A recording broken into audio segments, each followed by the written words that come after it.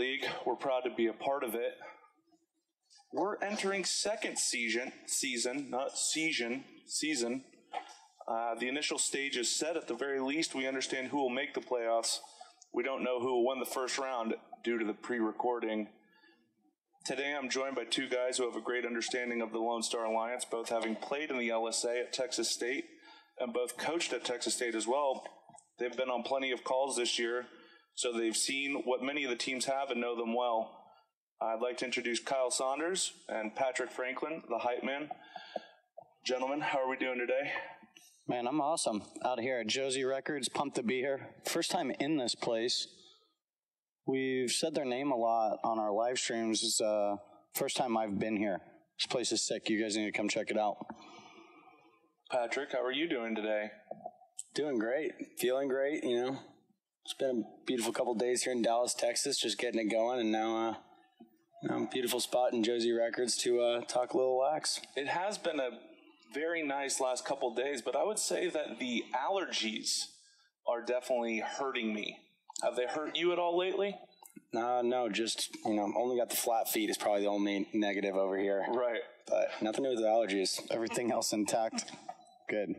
Uh, Good. Kyle, have your allergies been hurting you at all? Yeah, sometime last week there was a brutal allergy day. I didn't even realize what the deal was, but I had this near migraine that almost missed my practice because of it. And then I went and wasn't until I was telling another coach, and he was like, "Yeah, this is one of the worst allergy days ever." Um, so there's a lot of pollen out there. My car keeps getting uh, washed because it's it's green every two days. It's so been pollened.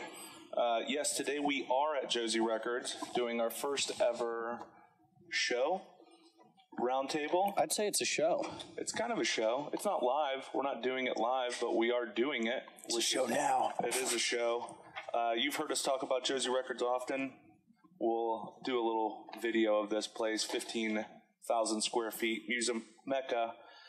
They've got a lot of bins of vinyl, everything you want, and if they don't have it, they'll do their best to track it down for you. Uh, what we're going to do now is break down the programs that find themselves in the playoff picture slash second season. Coaches, records, out of conference records, key wins, key point getters, the whole lot. Uh, the stage is set at this point. Um, we're going to start with D2. There have been some major additions to the conference, and now there are four divisions within the D2 conference. There's a ton of teams. I believe there's 23. No, there's more than that. It's, what is it, 8, 8, 8, 24, and 731. Right? There's a lot.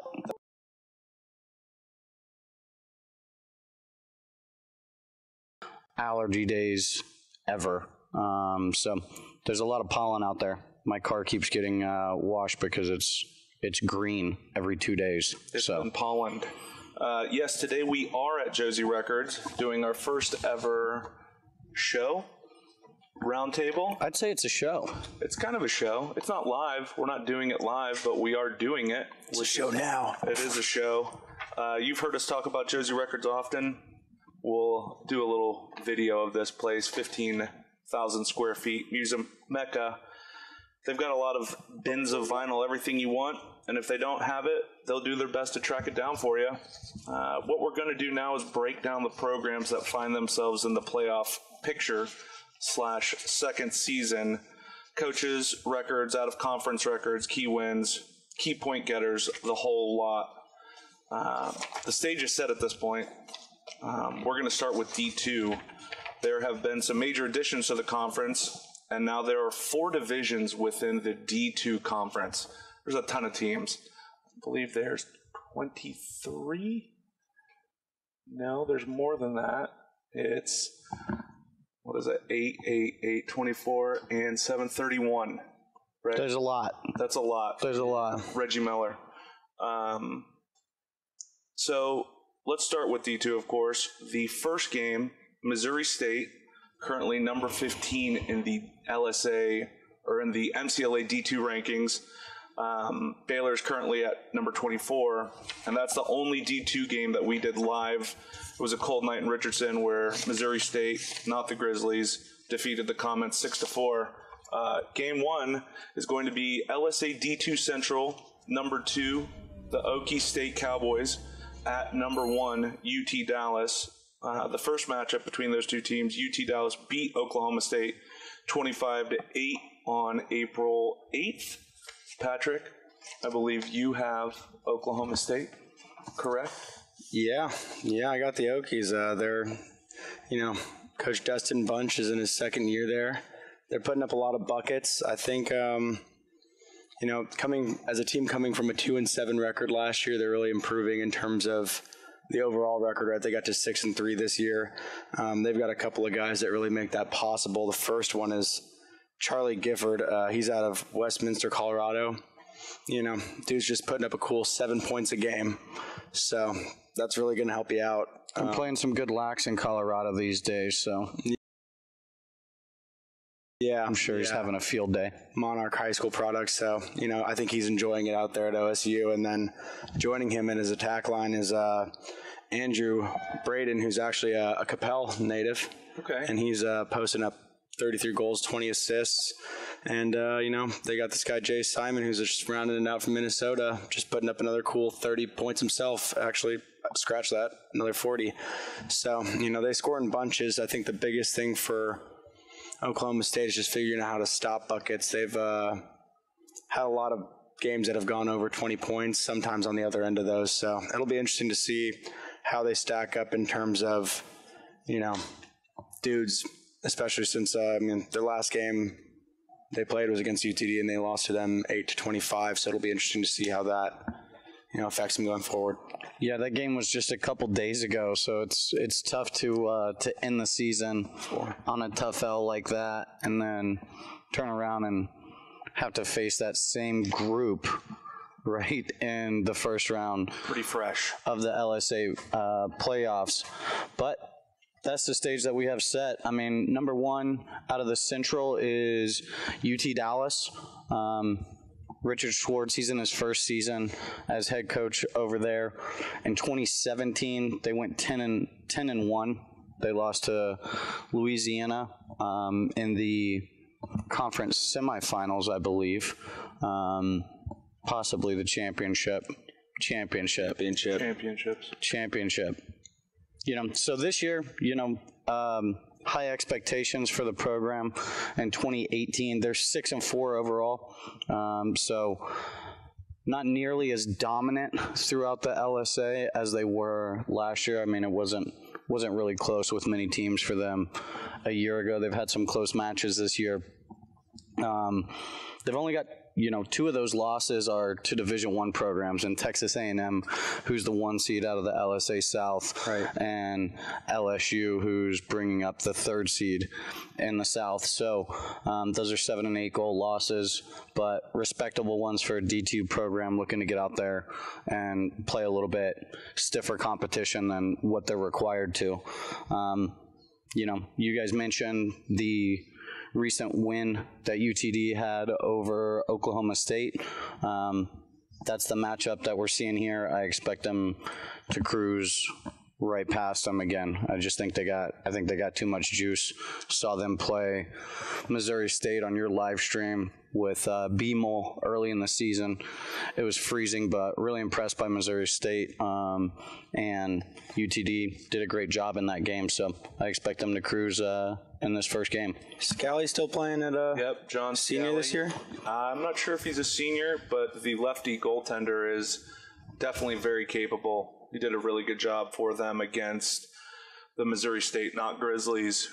Um, and the thing, the issue they had in that game was they had a tough time clearing the ball the first time, and second chance opportunities really ate them up. But they got back into that game.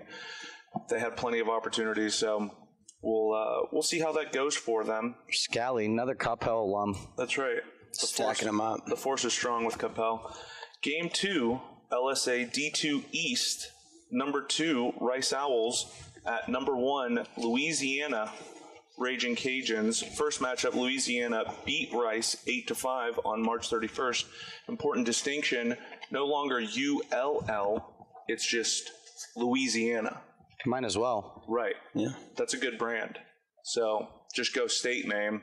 Um, Patrick, tell us about the Rice Owls. Yeah, so Owls are another interesting one. Um, they've got long-term head coach uh, Mike Ormsby. He's been there for I, I, believe a decade, at least a better half of a decade. I want to say it's it might be ten full seasons, but uh, you know he's got his guys improving every year. The last couple of years, we've seen measured improvement between you know how they've grown. Uh, this last year, they finished six and one. The year before, they finished six and four um, losing to UTSA in the regional playoffs. So that was a little bit tough for them. But uh, I believe their first game back this year, they avenged that one. I want to say there was a five goal game against UTSA, which is a quality program out of uh, the Central Texas area. For for them, it's it's really about Davis Nelson, uh, junior midfielder. He is their all do it guy. Uh, out of Concord, North Carolina. He is six foot three, 190 pounds, and the kid just gets buckets, takes face offs, gets ground balls. I mean, let me just read off this real quick because it's, I mean, it's laundry list here. So he's got 25 goals, 17 assists. Last season, he was first team All Conference, honorable mention All American. He was the LSA Rookie of the Year, and he's going 85% of the faceoff X this year. So that's going to be a pretty, uh, pretty good little matchup for them, depending on how Louisiana decides to match up against it. Last time they played him during the regular season, he only managed to get one goal and two assists, which uh, you know they really bottled him up. And helping him out is the rest of his attack line, which consists of Tim Nanette and Ryan Kelly, who are each kind of putting up around 20 points themselves. Uh, Kelly more of the kind of feeder role, Nanette really trying to get buckets for himself with only the three assists, but uh, he's had three seasons in a row of 20 plus goals, so he's a guy that you're probably going to have to cover. Um, those guys, I think, ended up with five, all five of their goals against Louisiana last time they played. I think it was an 8 5 game. That's what you said. Yep. So, but I think the, uh, you know, it'll be interesting to see how Davis Nelson stands up again because, you know, if you're a guy like that that's averaging, you know, six, seven points a game, probably going to need to get more than one and two, and his team's probably looking for him too. But we'll see how Louisiana can try to contain him and contain the rest of those guys over at Rice.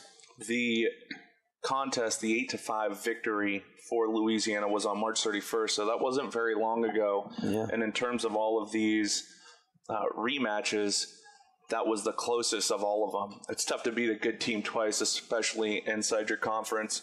So, Kyle, why don't you talk to us about the Raging Cajuns from Louisiana?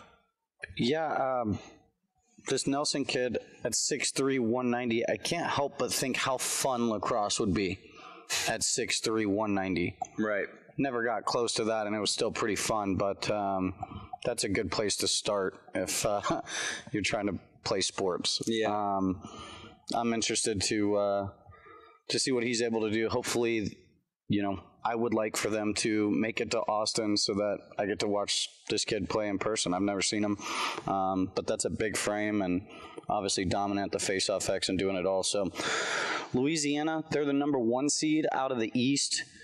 Coach Keith Schneider, he's in his second season. He just went ahead and won time to championship last year and his first go at it. Um, Louisiana kind of rolled to um, the LSA Division Two championship. Went out to Irvine, California, for the MCLA national tournament. It's been out there for some time now, four or five years, and this will be the first year that they've moved in a little while, going up to uh, Salt Lake City, Utah. So. Um, they're nine or they were nine and two last year um, en route to their conference championship and then eventually lost pretty big to uh, Concordia Irvine out at the national championship. But you know, Lone Star Alliance teams, it's it's tough. That's always right during finals. You don't necessarily always get all your horses to the track, and you know, in a league this big that spans almost all of the states and hundreds of universities, the competition out there is stout. So it's tough. Um, in 2018 uh, they're seven and four this year. Again, not nearly as dominant, but they are battle tested to make another run at it. Um, the interesting thing about a school like Louisiana is the high school game over the last, you know, five or six years uh, has really grown tremendously. There's there's a lot of kids in Louisiana starting to play. The level of competition and at the high school level and the coaching is improving. So you're starting to see you know that improvement funnel into the MCLA and Lone Star Alliance ranks. You see it with uh, Louisiana State, LSU, with these guys, um, even Louisiana Tech. I mean, all of these all of these schools are uh, are improving at a rapid rate. Game three, LSA D2 North is going to have Washington, Missouri Bears at Missouri State Bears. This is a battle of the Bears. It's a bear battle. A lot of alliteration going on there. First matchup, Missouri State beat the Bears 12 to 4 on March 3rd, but that was a while ago. Both teams have continued to improve. I have seen some D2 action. Missouri State was very capable. They had a plan on offense, very good on defense, talented long sticks, uh, good in cage. They really did a good job at stressing UTD at home. They came down on the road, and I believe they beat UTD first, and then they went down and got another win. Uh, so they beat two teams on the road. They are an addition. They were not in the LSA last year. So when you go ahead and drop a team into the conference that could immediately win the conference, it makes the overall conference better. Patrick, go ahead and talk to us about Washington out of Missouri. Yeah, so again, measured improvement is kind of the story with these guys. You'll see that a lot with a lot of these D2 programs uh, that are making the playoffs. You know, consistency from the players and the coaching staff is really what breeds success. Uh, most of these teams that are returning to the show or are their first time at the show have consistent coaching staffs, right? You talk about Rice, 10 years. Uh, Coach Wayne at Washington University has been there for quite a while. Last year they finished four and four. This year in the LSA they've gone five and one so far. Um, they've only played one out of conference game. And they lost it to Oakland, which was a four to thirteen loss, kind of tough. But again, in the beginning of the season, so you know they've been improving pretty rapidly throughout the season. But they're led by Mackenzie Gordon, who, if that name sounds familiar, that's a uh, Plano West product standing at six foot four, 210. Uh, the seniors got 21 goals, 10 assists right now. It's another fun size to play the game at, I would imagine. Right, right. And uh, he's actually had 21 points in the last three games. So, Mackenzie yeah. Gordon uh, played at Providence. I believe he is probably maybe doing a little post grad work because he, he definitely played at Providence and did a good job for them. But I know he had Yeah. some injuries early, so that kid could definitely fill it up. Yeah. Found him another year of eligibility and Yeah. decided, hey, let's not hang him up yet. That's right. That's right. And then he's joined by uh, Hayden Van Hoffman, which is definitely, sorry, I should say Von Hoffman. Still just as cool, probably part of the all name team there.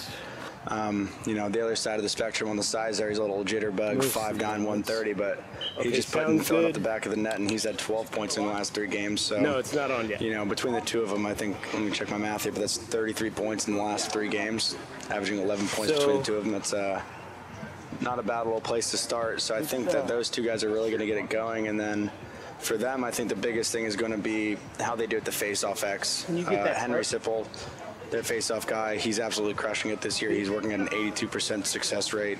He's also got three goals, two assists. I mean, he fills up the ground balls. He's got over 50 ground balls. Uh, and then last year, he was first team all conference in, I can't remember uh, what, what was the name of the conference that they dissolved to come to the LSA. It escapes me as well. Yeah.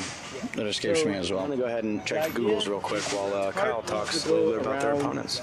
Yeah, the- Mo State, the not whole Grizzlies, um, just the Bears. All right, And then it's a brown bear of sort, itself, but not sure. Kind of looks maroon Yeah, in their logo. yeah, I don't know if there's many Right. maroon bears out there though. there is the Missouri State ones. That's right. Right. Not Grizzlies. Number one seed out of the North LSA D2, uh, Dustin Rich. This is his sixth season at the helm. He's an alum of the program. Patrick, you mentioned consistency of players getting all the way through, um, need to coaches being around. So crucial in the Lone Star Alliance for consistency in coaching over time. Really, any program um, that's finding success. A lot of times, you know, you can point to a coach that's been there for quite some time. The culture is established. As I said, Coach Well, Rich, he played at Missouri State, so that's another added bonus for their culture. Really being able to understand um, the club players' mentality at you know a university like that. Hold it. These kids are there competing hard, having fun, no doubt, but there is other aspects of their lives. So being able to balance that and understand it um, is probably crucial. So last year uh, they went uh, 11 and 2 overall. Um, they were able to beat Creighton, Creighton to advance to the MCLA national national tourney, and they ran into an absolute buzzsaw out there. The St. Thomas Tommies got after them, perennial MCLA national title contender. Not necessarily the draw that you want to get going out to uh, the national tournament. This year, they're you know on on pace and have had another great season. Um, haven't really taken a step back at all. They're nine and two. Their only losses are to Division One teams and Minnesota Duluth, and a two-goal loss to Arkansas, who finished fifth in the LSA Division One North, just out of playoff contention this year. Um, so go. Minnesota Duluth was another really, really solid D1 program on the MCLA national stage. So they're getting out there trying to play tougher competition. Have to be commended for that. Um, is it I watched them play that UTD game like we talked about. I was also impressed. Um, Especially on the offensive side, like you said, they definitely have a plan. They move the ball with purpose. Um, and they're also extremely great in the riding game. And to come down on the road, like you mentioned, get two dubs on an absolutely miserable weekend of weather here in the Metroplex, um, to be commended for. And you know, I've got them going all the way in the LSA D2 bracket this year. Um, won their conference last year. I think they're going to one time it this year. First prediction of the preview show. So I'll throw that out there. Um, the matchup against WashU Go all the way earlier left, this all the way season right. did not even go Okay, close. Uh, they absolutely got after those guys. So tough to beat a good team twice, but um, Okay, go all the way right. I think uh, I think they're going all the way. So. the other way? I'm going to see your prediction and I'm going to raise you one Trey Cambray. Okay, all the way back? Who is probably going to be a little bit salty for saying that. Yeah, Trey Cambry's pretty good, Okay. but I think that an important point of distinction is did Mackenzie Gordon play the the first time that they played? That would be a question that I would have. I would. I'm also curious about that. Because if he didn't play, All right, the six four midi Okay. who can just absolutely poke it all And then around. center it. And then you got, you know, Von Hoffman, the Wilton Warrior. And then go down. Uh, it'll be interesting. It'll be an interesting game. I think that Missouri State did a great job. One of the things that really applies pressure Okay, to great. opposing teams for them is their 10 man right, ride. now, if you're not used to the 10 man ride, if you want to work it's going to give you some fits. Uh, they also did a great job of possessing the ball behind the goal, finding their matchups, steady dose of invert. So again, pretty pretty good game. Yeah. The last game that we're going to talk about at the D2 yeah, so level the tarp needs to go over the whole thing without D2 covering the South, limbs. the number two Trinity the goal Tigers to- taking on the number one Baylor the- Bears. It's the the, gimbal in the and the first power matchup. Baylor won 13 to nine on January 27th. That game was a very long time ago. Uh, Patrick, go ahead and talk to us about the Trinity Tigers. Yeah, so they're uh, they're under first year head coach Kevin Hill. Trinity's an interesting one. Last year, uh, I don't know if you guys are familiar, but they had a, And then- a pretty abysmal season. I don't flip even know if you could constitute it as a season. They ended up going one and three and just completely canning the whole thing. Um, no stats anywhere. No, you know, I, I don't know, you know, if it was just a a lack of uh, structure what have you, maybe you know lack of guys. But it looks like you know Coach Hill has really just turned it around, really in a short amount of time here. Uh, Trinity, as you know, in San Antonio, is not necessarily a It's hotbed for lacrosse. So you got to be able to find guys in the local area, but also you know hopefully get some guys that are not from the area. Hopefully, right? Yeah, so you're have to they did so- that, and uh, they've got senior attackman that- Ben Mulford, who, I mean, he just fills up the net for them. He's got 37 Gs. He, I think he's got what 11 assists on the year, Somehow and it's gotta be kind of consistently with this uh, same message here. The attack line seems to be usually the guys getting all the buckets for most of these squads, with the exception of a few, but.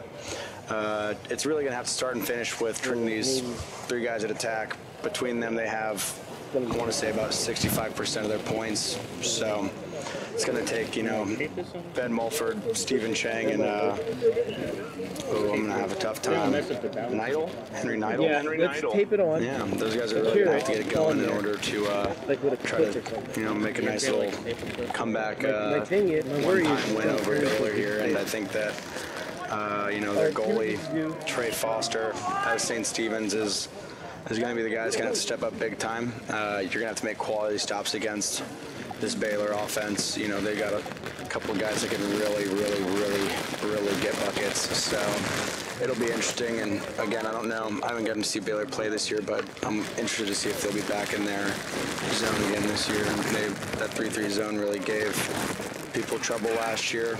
Um, some coaches didn't necessarily even know they were running it. I'm not sure how, but you know that's an adjustment you got to make, and we'll see if Trinity can figure that one out if in fact they are in the zone. But I think it comes down to uh, Trey Foster in goal, and then Ben Mulford seeing what he can do against against that, those guys over there at uh, Baylor. Trey Foster, quality Tendy. Um, had the pleasure of watching him play many years, competing against him down in the Central District at St. Stephen's when I was still living in Austin. Really good goaltender. Saw a lot of rubber, as a lot of goalies down there do. So he's able to make the next save consistently. Um, and I think he's going to be key in this Baylor game. Baylor's the number one seed out of the South, led by Coach Mike McAdams, another Texas State alum. Eat him up. Um, he's in his fourth season there, so again, there's some consistency. Last year in 2017, they dropped down to Division Two for the first time uh, after being in LSA Division One for ever. It seems like. Um, I think they had some numbers problems and. Um, you know, I think they're starting to get it starting to get it turned around down there. Nine and two last season. Um, lost in the conference semis by one to the eventual champions, Louisiana, that we talked about earlier. Um, this year, identical record, nine and two overall. They've uh, got a loss to West Virginia, who's a quality Division One program, and Missouri State, who we just mentioned. So. Um, earlier in the year, they beat Trinity, so this matchup's pretty intriguing because it was a it was a pretty close game. It was just a four goal margin. Um, it was, as I mentioned, early in the season, so you know it's tough to beat a good team twice, um, and with a chance to make it to Final Four weekend on the line, uh, would expect for this one to be very close too. So. That is the second game that Missouri State won on the road. They came down and beat UT Dallas, and then they went and beat Baylor.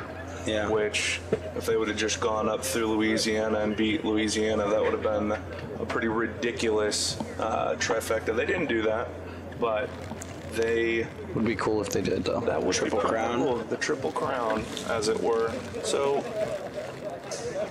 Baylor, they've got really shiny gold helmets. They're gonna give it the, uh, the old college try. Cambrere, he's a he's a big dude, and he did a good job last year. We saw them play UT Dallas. They gave UT Dallas all kinds of fits with the zone. So that's the D2 uh, stage. It's set. Predictions, really quickly. Do we want to do that? I'm going Mo State. Mo State all the way. Yeah, I got Baylor. You've got Baylor. I got I got Trey Cambray. I am going to go with the Missouri State Bears, and I believe they will play the Louisiana Raging Cajuns. Louisiana, they're the two-time back-to-back champs, right? Going for that three-peat. They're going for the three-peat, trying to get all three of them.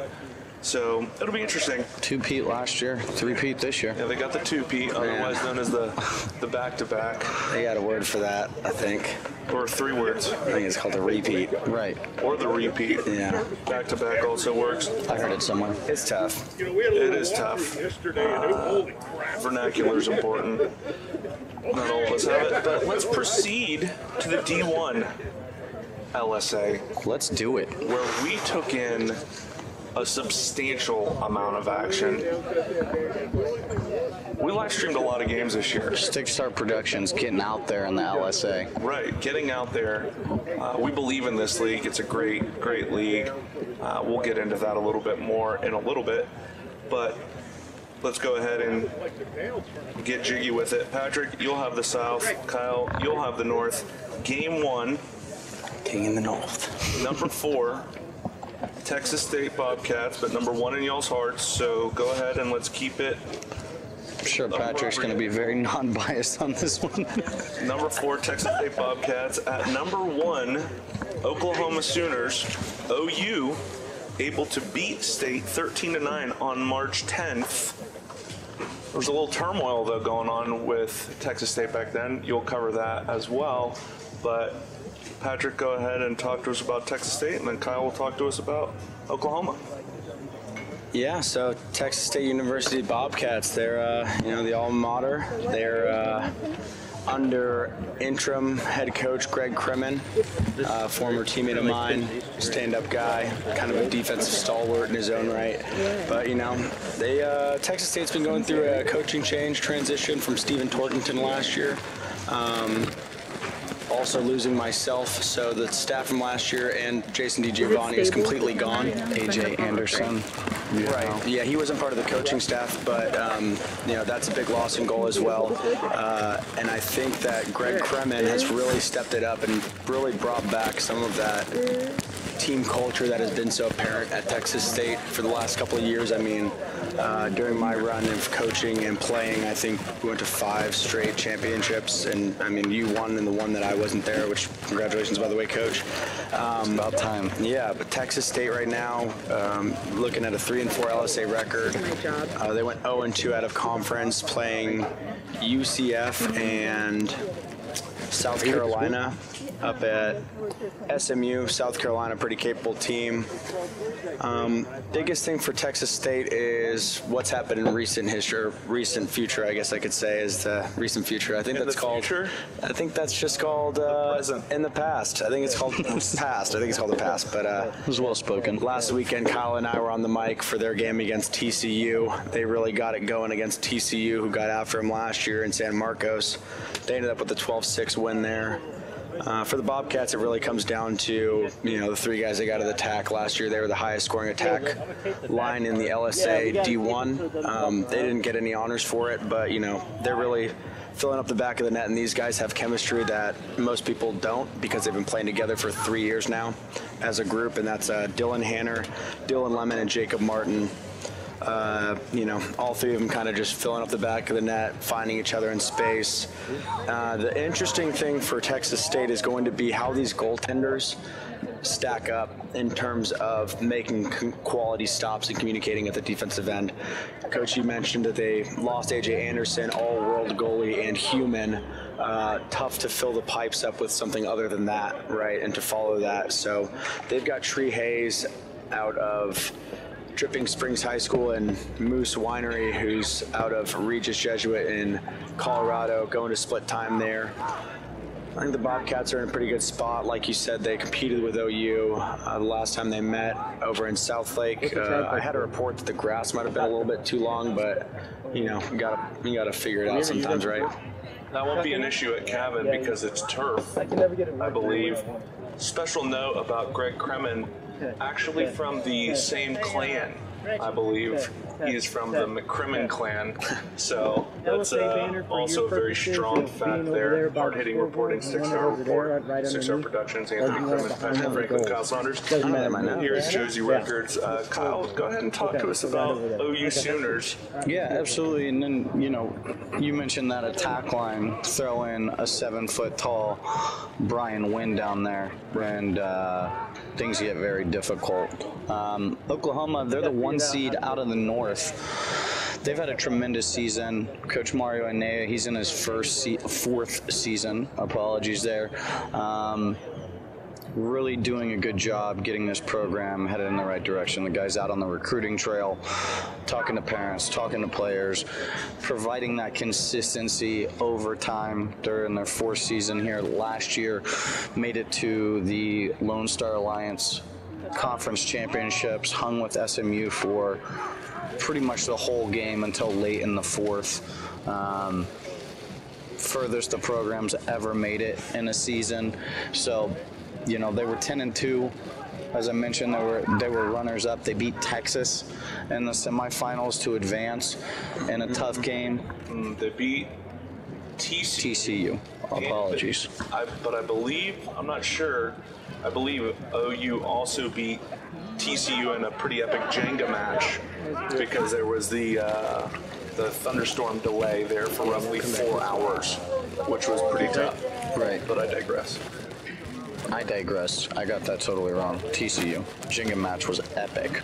Um, side note, on Twitter last night, saw two high school teams whose lights had gone out and they had a Fortnite dance off um, while the lights were out. So that was pretty interesting. Look at that. Pretty good dance moves being thrown down. Um, you know, banner year, they I- came up you should short. sit and, like, They're, they're trying to take the next step. Um, Coach Anea is extremely competitive guy. Roster is full of ballers. Um, this season, they're 11 and three overall. They doubled up on the two seed out of the North SMU, 14 to seven. Um, that's a pretty impressive victory. SMU's got dudes. Um, and they just really got after him. Now, the last meeting, right, with Texas State, you mentioned this, Krim, was out in South Lake, um, 13 to 9, right? So just a four goal match. Texas State was coming off of that coaching change. Um, it's going to be interesting because, you know, watching Texas State play TCU last weekend, I feel like they're kind of starting to come together at the right time. OU's obviously been playing good lacrosse all year, but I think we're just now starting to see that. Um, Texas State squad kind of start to reach their potential here in April. So I think the the rematch is going to be way, in one case anything happens, super I can just stick it under the- right, like The tent these are two programs in case it starts that to rain. Not necessarily big fans of each other. Um, I think it got uh, got kind of rough in the last one, but it's just uh, just two teams of great players and athletes competing. They had a huge out of conference win against Arizona. Uh, Arizona, another one that's a perennial MCLA. Um, top 25, top 30 team, so that's a big one. They beat them 11 to 5. Now, this attack line that they're throwing down at Oklahoma is kind of ridiculous. Senior Eddie Arnold, 37 G's, 14 assists, 51 points. Anytime you're putting up 50 points in a season, you're doing it, right? Um, so I'm interested to see what that matchup looks against senior close defenseman Jake Hamilton, Jay Ham out of Keller. Eddie Arnold out of Flower Mound. These two guys have been playing against each other for what, like eight years now? Yeah. Um, Even, I think they even played in a state championship against each other. right. And probably middle school ball even before high school. So um, that's going to be an interesting matchup. Bray O'Connor, another attackman that is getting buckets, 23 goals, 9 assists for 32 points. And then you've got the freshman phenom, Nick Rouchel, out of uh, the Woodlands. This kid came in and is, Yeah. he's having a day, uh, or lots of them, as it were. 21 and 9, 30 points on the season. Now, it gets it gets better for them, right? How's it get better? Well, they're stacked at the midfield unit too. Yeah, Frank. Yeah, Kyle Frankowitz, the Houston Christian product, 23 and 22, 45 points at the midfield. Austin Sanchez, 22 and 25, 47, right? So between your two top two middies, you're throwing down 92 points. That's uh, some serious production. And then uh, midfielder Jackson Buell, he's got uh, 26 points on the season with 13 and 13 super talented bunch. Uh, as we mentioned, they've had an excellent season thus far. They're going to have to get by a very hot Texas State team. They're rounding into form. Um, and so I'm excited to see that game. I'm actually gonna I'm gonna drive up to Norman on Saturday and uh, and catch that game, and then uh, we'll see who comes out on the other side of it. But it's sure to be a great game. Two men enter, one team leaves. Uh, sprinkle a little T Biggs in there, also a little Tyler Billig Yeah. at OU. Sorry, Billy. There's only Yeah, I only got spot for six guys on here. Right. You know. Tyler Billig, he's uh, he's been playing pretty well in his sophomore campaign. Uh, special note on J Ham, easily the best. Well, I wouldn't say the best, but top two state championship celebrations of all time. Uh, that guy, And we were on the call for that. yeah, that guy got his pads off and his shirt off very quickly and was running around the field just very enthusiastically. I think he got up in the stands at some point. Yeah, probably.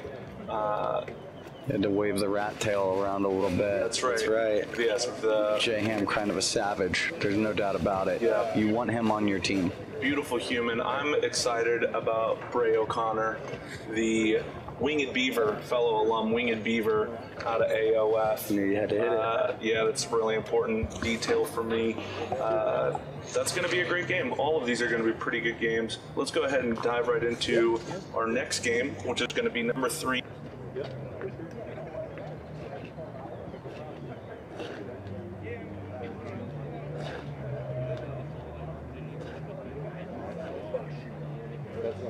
Let's uh, go ahead and raise it up.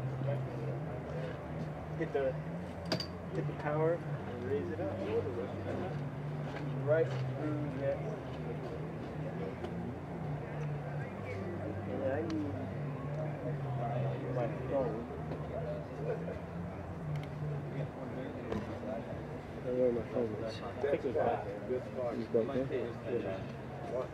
Before you raise it up, let me check.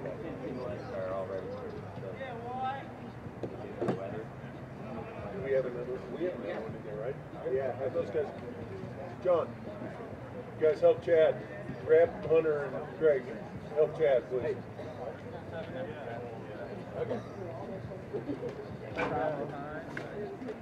That should be easy to track, right? Yeah. Yeah. He's like, yeah. Thanks, Peanut Gallery. Appreciate it. need to, you need to get it in from the committee.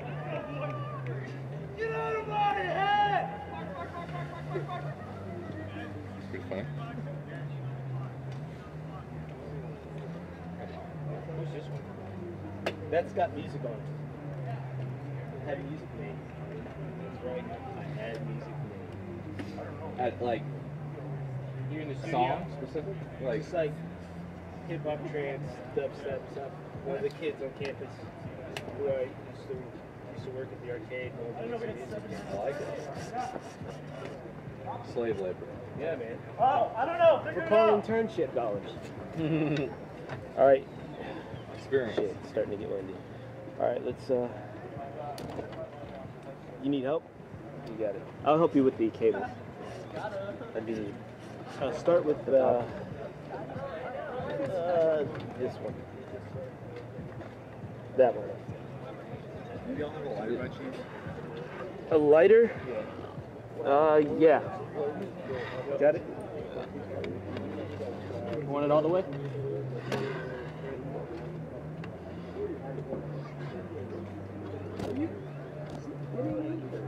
All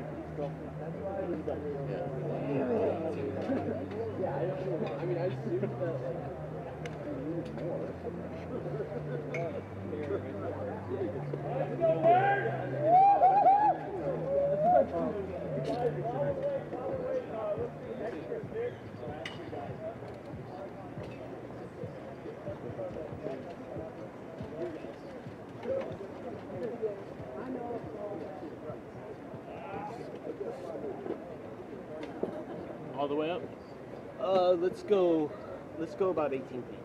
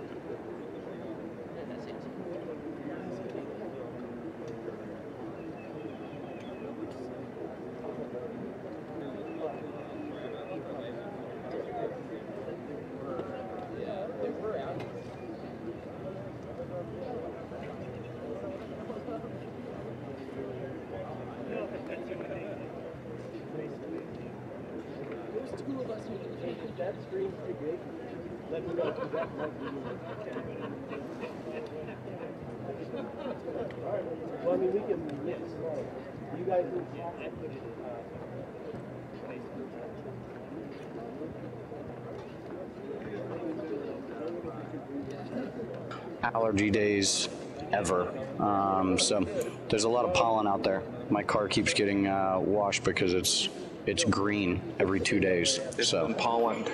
Uh, yes, today we are at Josey Records doing our first ever show roundtable. I'd say it's a show. It's kind of a show. It's not live. We're not doing it live, but we are doing it. It's a show now. It is a show. Uh, you've heard us talk about Josey Records often. We'll do a little video of this place, 15,000 square feet, museum mecca. They've got a lot of bins of vinyl, everything you want, and if they don't have it, they'll do their best to track it down for you. Uh, what we're going to do now is break down the programs that find themselves in the playoff picture slash second season coaches, records, out of conference records, key wins, key point getters, the whole lot. Uh, the stage is set at this point. Um, we're going to start with D2. There have been some major additions to the conference, and now there are four divisions within the D2 conference. There's a ton of teams. I believe there's 23. No, there's more than that. It's what is it? 8, 8, 8, 24, and 731. Right? There's a lot. That's a lot. There's a lot. Reggie Miller. Um, so let's start with D2, of course. The first game, Missouri State, currently number 15 in the LSA or in the MCLA D2 rankings. Um, is currently at number 24, and that's the only D2 game that we did live. It was a cold night in Richardson where Missouri State, not the Grizzlies, defeated the Comets six to four. Uh, game one is going to be LSA D2 Central, number two, the Okie State Cowboys at number one, UT Dallas. Uh, the first matchup between those two teams, UT Dallas beat Oklahoma State 25 to 8 on April 8th. Patrick, I believe you have Oklahoma State, correct? Yeah, yeah, I got the Okies. Uh, they're, you know, Coach Dustin Bunch is in his second year there. They're putting up a lot of buckets. I think, um, you know, coming as a team coming from a two and seven record last year, they're really improving in terms of the overall record. They got to six and three this year. yeah, that- Um, they've got a couple of guys that really make that possible. The first one is like I told, you know, Charlie Gifford. Uh, he's out of Westminster, Colorado. You know, dude's just putting up a cool seven points a game. So that's really going to help you out. I'm Um, playing some good locks in Colorado these days, so yeah, I'm sure he's having a field day. High School products. So, you know, I think he's enjoying it up there at LSU. And then joining him in his attack line is uh, Andrew Braden, who's actually a, a Coppell native, and he's uh, posting up 33 goals, 20 assists. And uh, you know, they got this guy Jay Simon, who's just rounding it out from Minnesota, just putting up another cool 30 points himself. Actually, scratch that, another 40.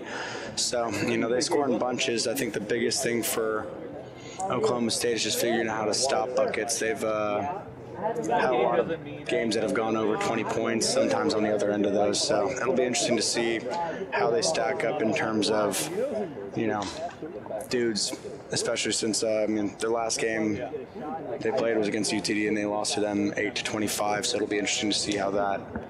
You know, affects them going forward. Yeah, that game was just a couple days ago, so it's it's tough to uh, to end the season on a tough L like that, and then turn around and have to face that same group right in the first round Pretty fresh. of the LSA uh, playoffs.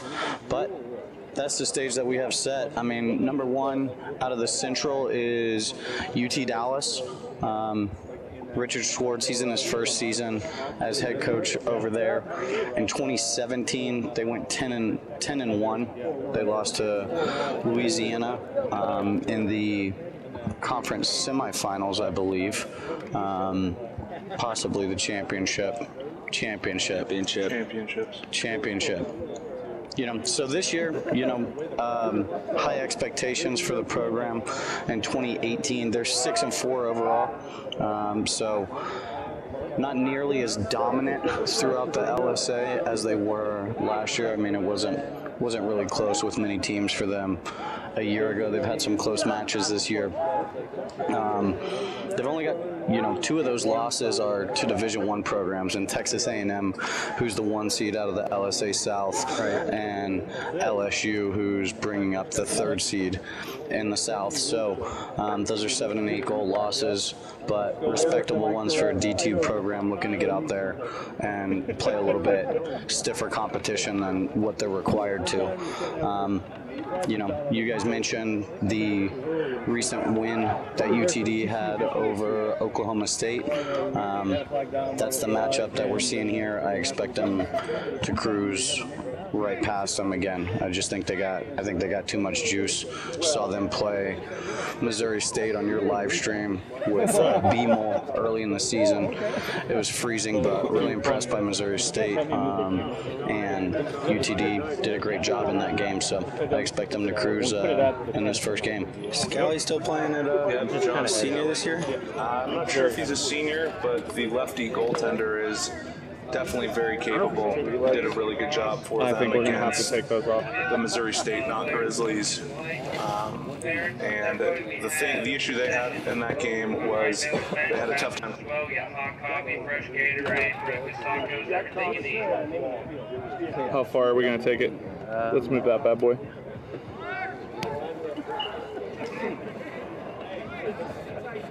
Reggie, how far forward? The tent line? It's about right here. So The camera knows it's right here. And then I'll make more room for you guys.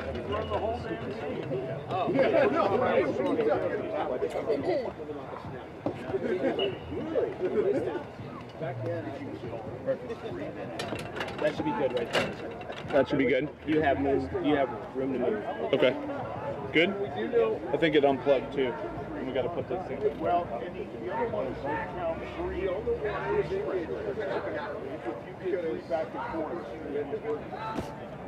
gonna probably have to move that. I'm skinny. Oh, this moves. Okay, I got you. I got you. Yeah, we'll move the whole thing over so you can get in. You got to think thin, man. What, what's going on? You cut the. I can't. I can't think thin. I'm uh, naturally dense. Okay, that's fair. Although I am 17 pounds lighter than I was last year, this time. which is Not that anybody's counting. which is substantial. Hey, we'll take the victories anywhere we can get them. That's right. It's a medium-sized dog. It's the size of Texas, not the state of Texas. the dog.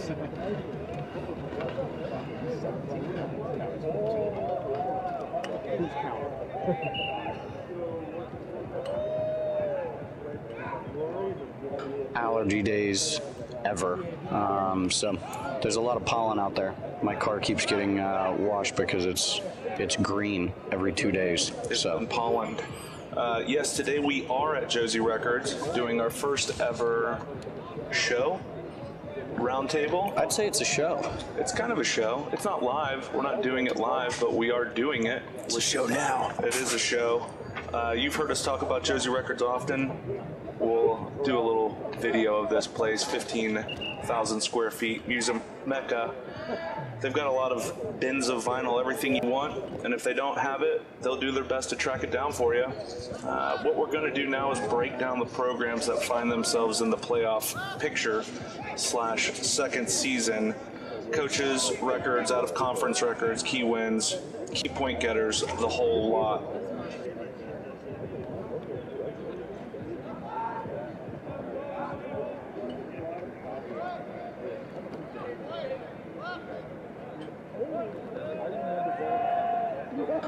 Allergy days ever. Uh, um, so there's a lot of pollen out there. The overall record, right? They got reporting Stick Star Report, Stick Star Productions, Anthony Crimmon, Patrick Franklin, Kyle Saunders. I don't know that my name. Here at Josey Records. Uh, Kyle, go ahead and talk to us about OU Sooners. Yeah, absolutely. And then, you know, you mentioned that attack line, throw in a seven foot tall Brian Wynn down there, and uh, things get very difficult. Um, Oklahoma, they're the one seed out of the North. They've had a tremendous season. Coach Mario Anea, he's in his first se- fourth season. Apologies there. Um, really doing a good job getting this program headed in the right direction. The guys out on the recruiting trail, talking to parents, talking to players, providing that consistency over time. They're in their fourth season here. Last year, made it to the Lone Star Alliance Conference Championships, hung with SMU for pretty much the whole game until late in the fourth. Um, furthest the program's ever made it in a season. So, you know, they were 10 and 2. As I mentioned, they were, they were runners up. They beat Texas in the semifinals to advance in a tough game. They beat TC. TCU. Apologies. I, but I believe, I'm not sure, I believe OU also beat TCU in a pretty epic Jenga match because there was the uh, the thunderstorm delay there for roughly four hours, which was pretty tough. Right. But I digress.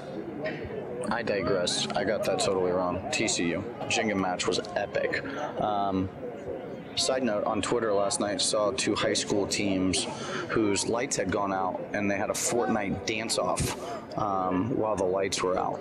So that was pretty interesting. Look it up. Pretty good dance moves being thrown down. Um, you know, banner year. They came up short. They're they're trying to take the next step.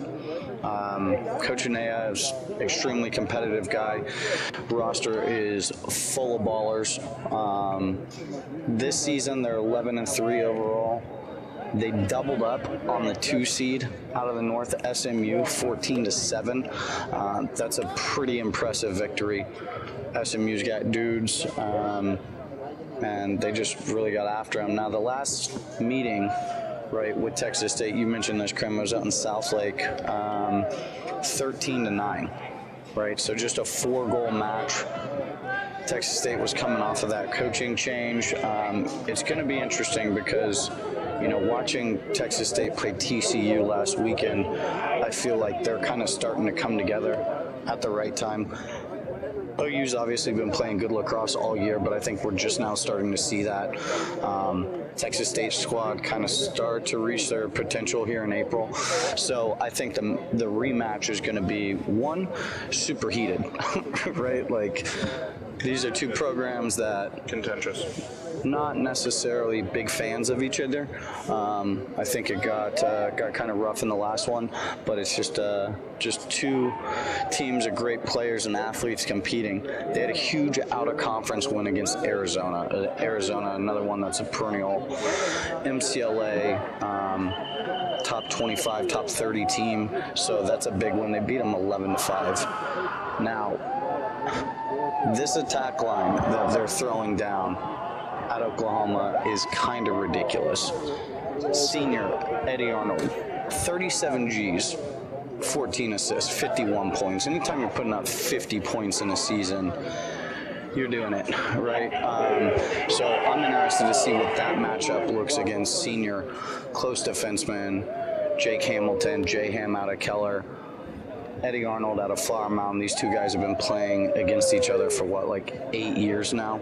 Yeah. Um, Even, I think they even played in a state championship against each other. right. And probably middle school ball even before high school. So um, that's going to be an interesting matchup. Bray O'Connor, another attackman that is getting buckets, 23 goals, 9 assists for 32 points. And then you've got the freshman phenom, Nick Rauchel, out of uh, the Woodlands. This kid came in and is he's having a day, uh, or lots of them, as it were. 21 and 9, 30 points on the season. Now, it gets it gets better for them, right? How's it get better? Well, they're stacked at the midfield unit too. Yeah, Frank. Yeah, Kyle Frankowitz, the Houston Christian product, 23 and 22, 45 points at the midfield. Austin Sanchez, 22 and 25, 47. Right, so between your two top two middies, you're throwing down 92 points. That's uh, some serious production. And then uh, midfielder Jackson Buell, he's got uh, 26 points on the season with 13 and 13 super talented bunch. Uh, as we mentioned, they've had an excellent season thus far. They're going to have to get by a very hot Texas State team. They're rounding into form. Um, and so I'm excited to see that game. I'm actually going to. I'm gonna drive up to Norman on Saturday and uh, and catch that game, and then uh, we'll see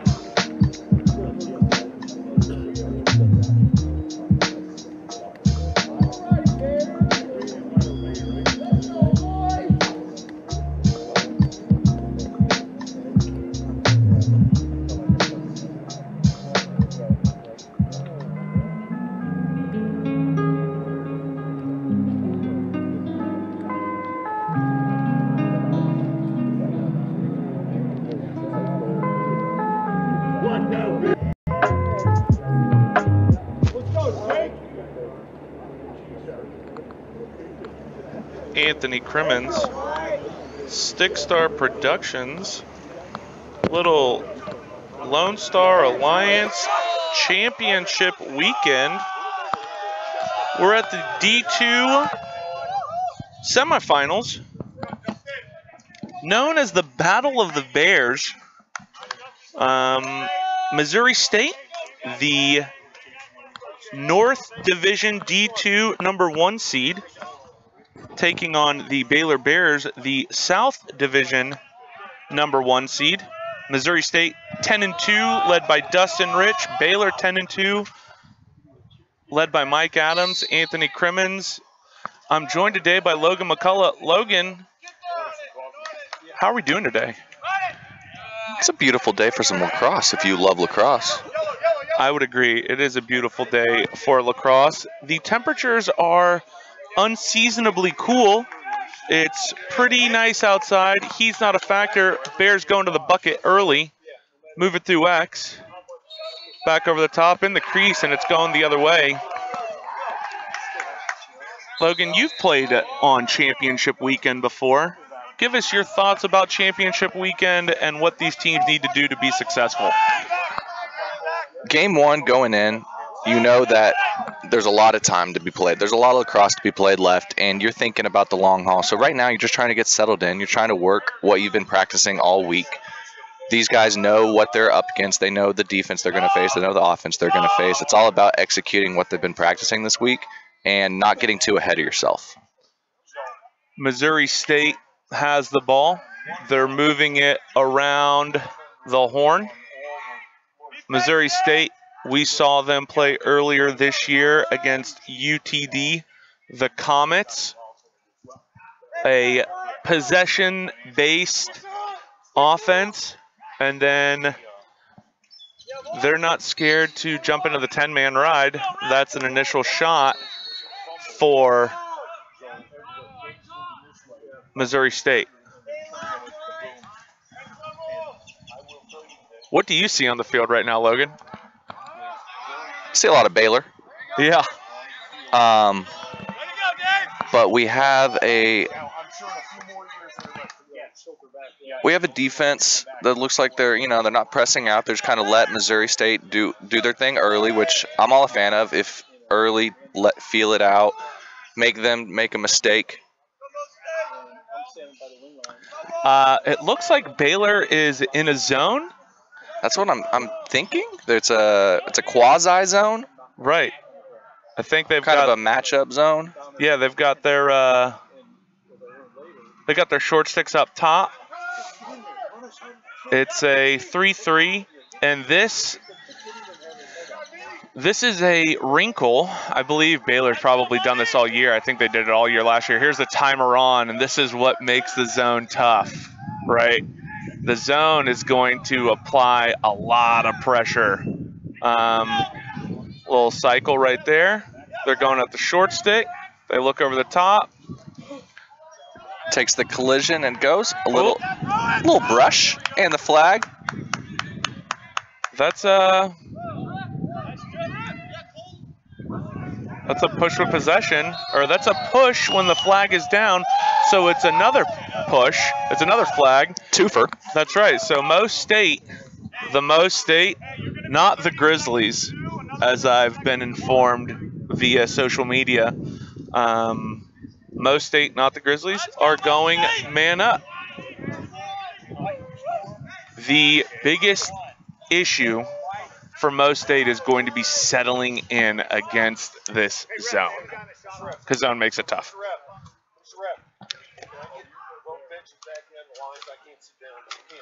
Yeah, yeah. Hey, coaches, coaches. Oh. Keep your players back. Oh, that was great adjustment by the uh, refs. Gotta love refs. I mean, they and they love us, Logan, which is it's nice to be on that side of the equation. Now we can see everything. Such a so, that was such a great adjustment because literally before we could see nothing. Let's make sure the refs keep up on that throughout the game, shall yeah, we? Yeah. Yep. Uh, they Look a carry little wheel the action. throwback. Oh, finessed. Ball's on the ground. Big GB here. Ooh. the Missouri State coach disagrees with the call on the field. Physicality is real. You got to make the next play. When it when it's championship weekend, let the boys play is usually a theme. That was an interesting play in the box, a little extracurricular activities. But That's hey, awesome. I will tell you that being on the box side is pretty great. you can tell that both teams came early with the energy. It's early in the morning, but they clearly had their coffee. Maybe they had a little Austin Java on the way. I think that our camera was down for a second, but you haven't missed anything. We're just bringing you the dulcet tones of Anthony Crimmon and Logan McCullough. Stick Star Productions. Baylor's first shot on goal was a bounce shot from about 18 that just went right over. 23 is their workhorse. His name is Trey Cambier, a Flower Mound native. Camber, I think the second E is silent. Cam Camber. I went to Paris this year. I should know that. Camber. They bear down. That was a Baylor goal, number 45. Harrison Gore with the bucket. Another Dallas native out of Plano Senior. 45. Just got top side and let it fly. Harry getting some daps on the sideline from his teammates. Great job, Harry, they said. We're going to get all kinds of interesting insight from being literally right on the sideline. I can smell them. It's delicious. This is how close we are to the sideline. We're literally in the game, which is pretty cool. This is my first time on a sideline. A little chin action, but I like it. We can tell right now that the refs have set their own tone for the game, and that is physicality is going to be allowed. So we're going to see who responds to that. A little confusion on the Baylor sideline subbing in, but we got them all six on six going up. Another, the zone is set. The zone is set, and Let's- this is going to be the The, The- key of the game. Right. The early storyline for sure. Baylor, uh, they did a great job last year with the zone. So obviously you want to look to overload one side, but once you do that, once you execute that aspect, what is the next step? Well, so right now in this 3 3 zone, all right, the. The way you want to think about it is while it's a 3 3, they're always going to have two guys on the side. Right. Right. So we need to get more guys attacking those two guys. Um, I would I would almost be excessive. I would have a lot. Oh my, that was gross. The dish from 13 to 31, that was Tim Havarton to Monte Bordeaux. Uh, a beautiful crease feed with a little just touch goal. That was a little alley oop. Yeah, exactly. The closest you can get to an alley oop in lax for sure. That was Good. very pretty. Feeding the crease is not always the look, but when it works, it works. So it does. I mean, if if you can handle and you can finish, might as well throw it in there every once in a while. But with the zone, as we were saying, they're always going to have two guys on the side. So we're going to want to move those guys out of their zone, make them understand all of the different rules for playing a zone. What are the limits to their zone? How do they handle seals against the zone? I mean, the Missouri State coach asking for calls. Um, at, at some point, going to need to, uh, Adapt. yeah, at some point, going to need to understand how the game is being called. If it's going to be called that way, Missouri State, no shortage of big physical players. Whoa. Whoa. Whoa. That was the man himself. I'm trying to pronounce his name correctly. Camber. Camber. And that was from Matt Shear, number zero. Dynamic. Made the first guy miss in transition. Shake and bake and I helped. A Flomo Flomo connection. Baylor feeling it early. They're uh, they're feeling good about it, and they should. Two to one. Zone defense is real. And we are here at the University of Texas at the Cavan Lacrosse and Sports Center. And it's a chilly day. Uh, rain in the forecast, potentially. But it's, you know, the this April has been unseasonable from a temperature standpoint. This has been the, the warmest weekend, but the last couple in Dallas have been chilly. And here's another quick turnover. Big guy. Lots of momentum running down the sideline right now.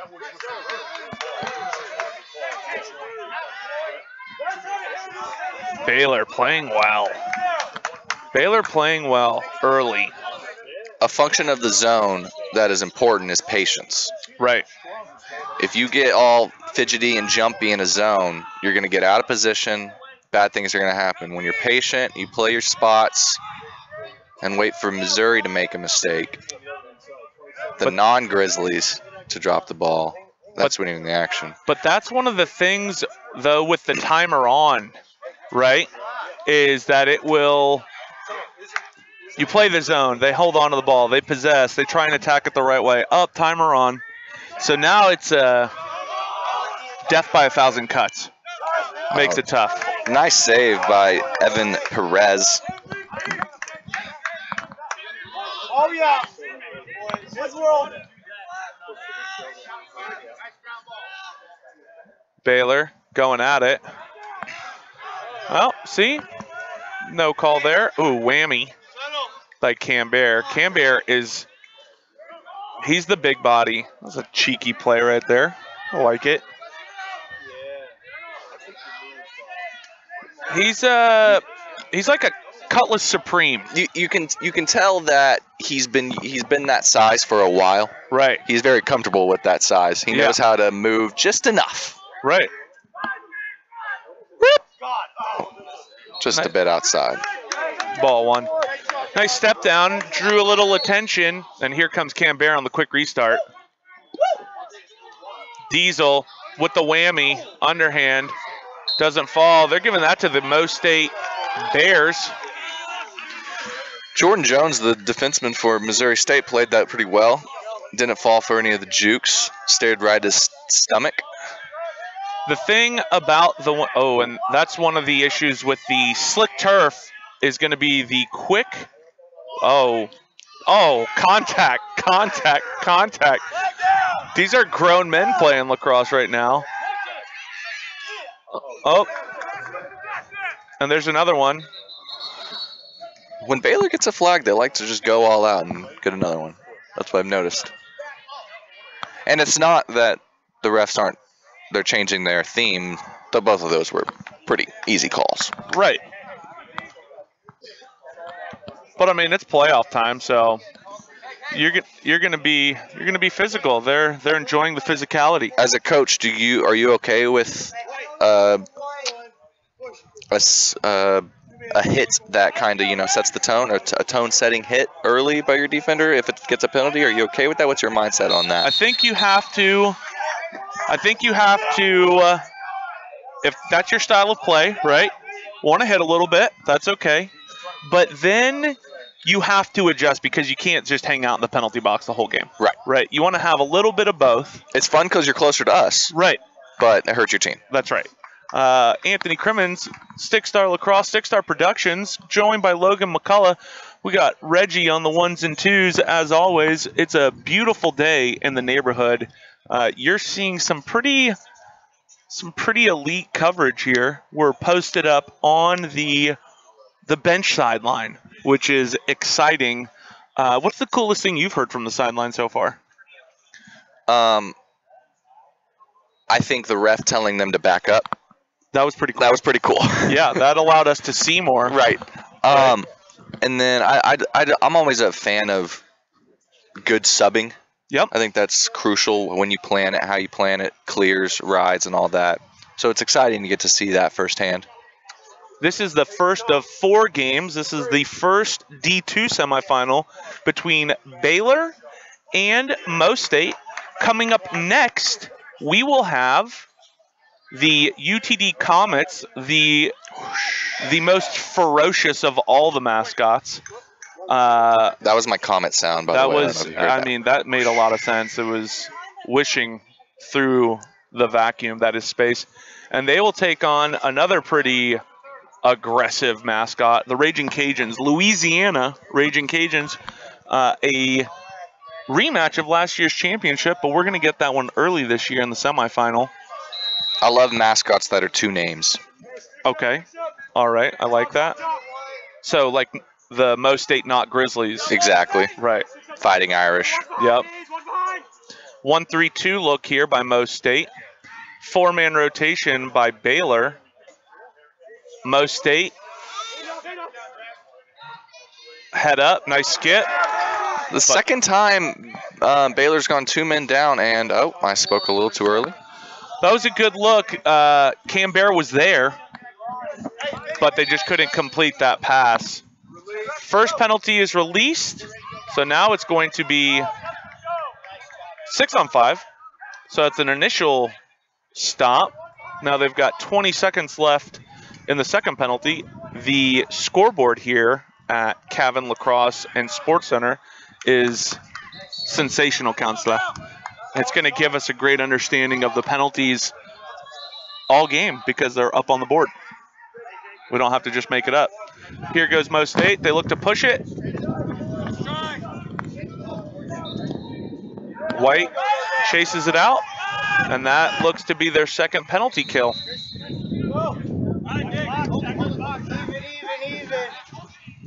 Oh, big play there in the ride. Ball's on the ground. Baylor trying to clear it up. That's a tough pass. Also known as a grenade. Goalie way out. Way, way, way out. Wait, wait, way up. I love a confident goalie. It helps. I love a confident goalie when I'm watching the game. When I'm on defense, I do not love a confident goalie. Right. I'm like, get back in the goal, please. Please hang out in the crease. And Mo State looking to settle into offense. Right now, they've only put up one goal. They've definitely had their fair share of offensive possessions. The Baylor zone, Causing some stag- stagnation. right, proving to be formidable here early on. Again, if you'll notice, right now, they're in a 2 2 2. Okay. So on the outside, everything is matched up because there's four guys on the outside of the zone. So it kind of looks like man, and now there's help in certain areas. Inside, they're covered up. Oh, that's a nice little face dodge, but the ball's on the ground. Davis Wolf carrying it down. Oh, Davis Wolf gonna want to find just the point, man. I'll tell you that the stick work for both long sticks has been. That's pretty good. Not taking a penalty on that hit, to be quite honest. Tough to complain about that because he that kid could have gotten absolutely destroyed, and uh, he let up on that and kind of played the stick only. and to finish your comment on the, the Baylor long sticks, the the handling is there, the speed is there. They just need a little bit more patience once they get it to the offensive side of the field. They seem to be forcing it just a little bit when 30 seconds is a long time, and Lambert letting it fly. Canberra. Canberra. Lambert, his nickname. Here comes Baylor again with the ball. They're they're not afraid to test their matchups, especially against the short sticks. They've kind of been going at it. Get the ball through X, back up to Canberra, moves it up. They're going to swing it over, maybe. Nope, they want to attack the shorty right there. Christian Son going one on one. He floats, huh? Yeah. Good little hezzy. He moves well. Taking the deep hole on now. Wow. I think he's going to look to bounce out. Taking a lot of hits. That's pretty good. Yeah. Pretty Got- good on both sides right there.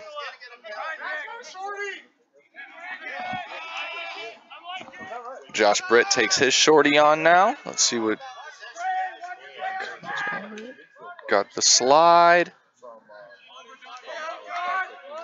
Oh, wow.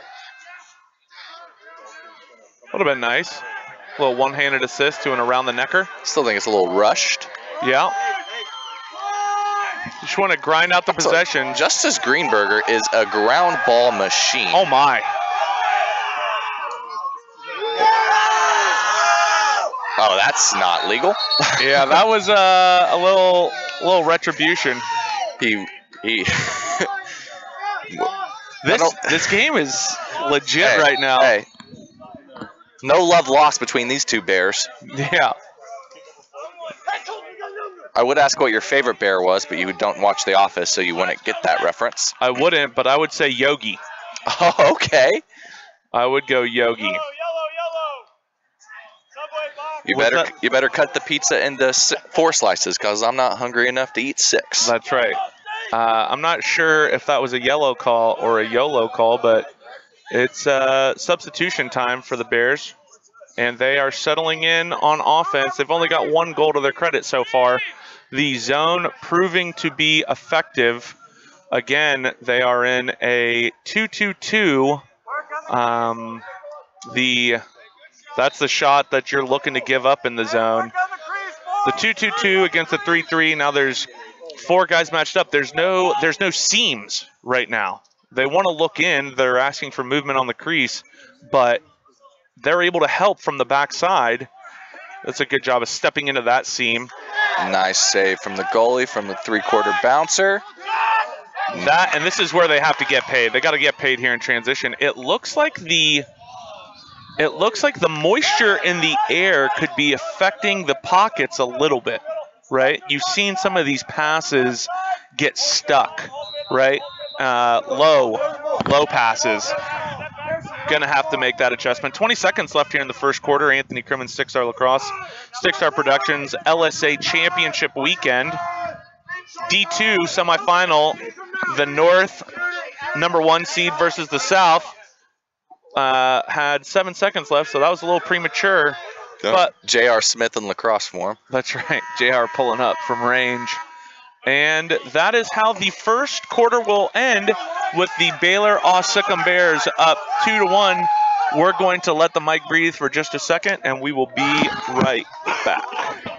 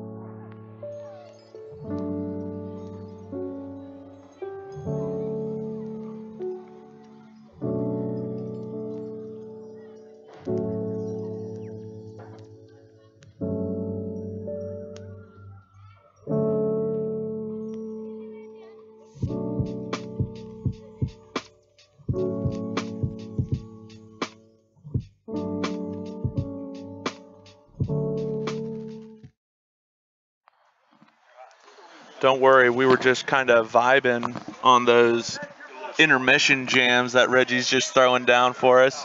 tell you, the intermission jams not on the Zune are pretty legit. Uh, and we've got some great action going on. I got to say that this has been an A plus first quarter. Anthony Crimmon, Stick Star Productions, LSA D2 semifinal, joined by Logan McCullough. Logan, talk to me about the first quarter. Well, first off, I love when Reggie tells me I'm hot. That's just that's a that's big for me. That's uh, it's important. Yes. Uh, Confidence booster early and often. game wise, I think my theme of the first quarter was patience, Patience. um, or lack thereof.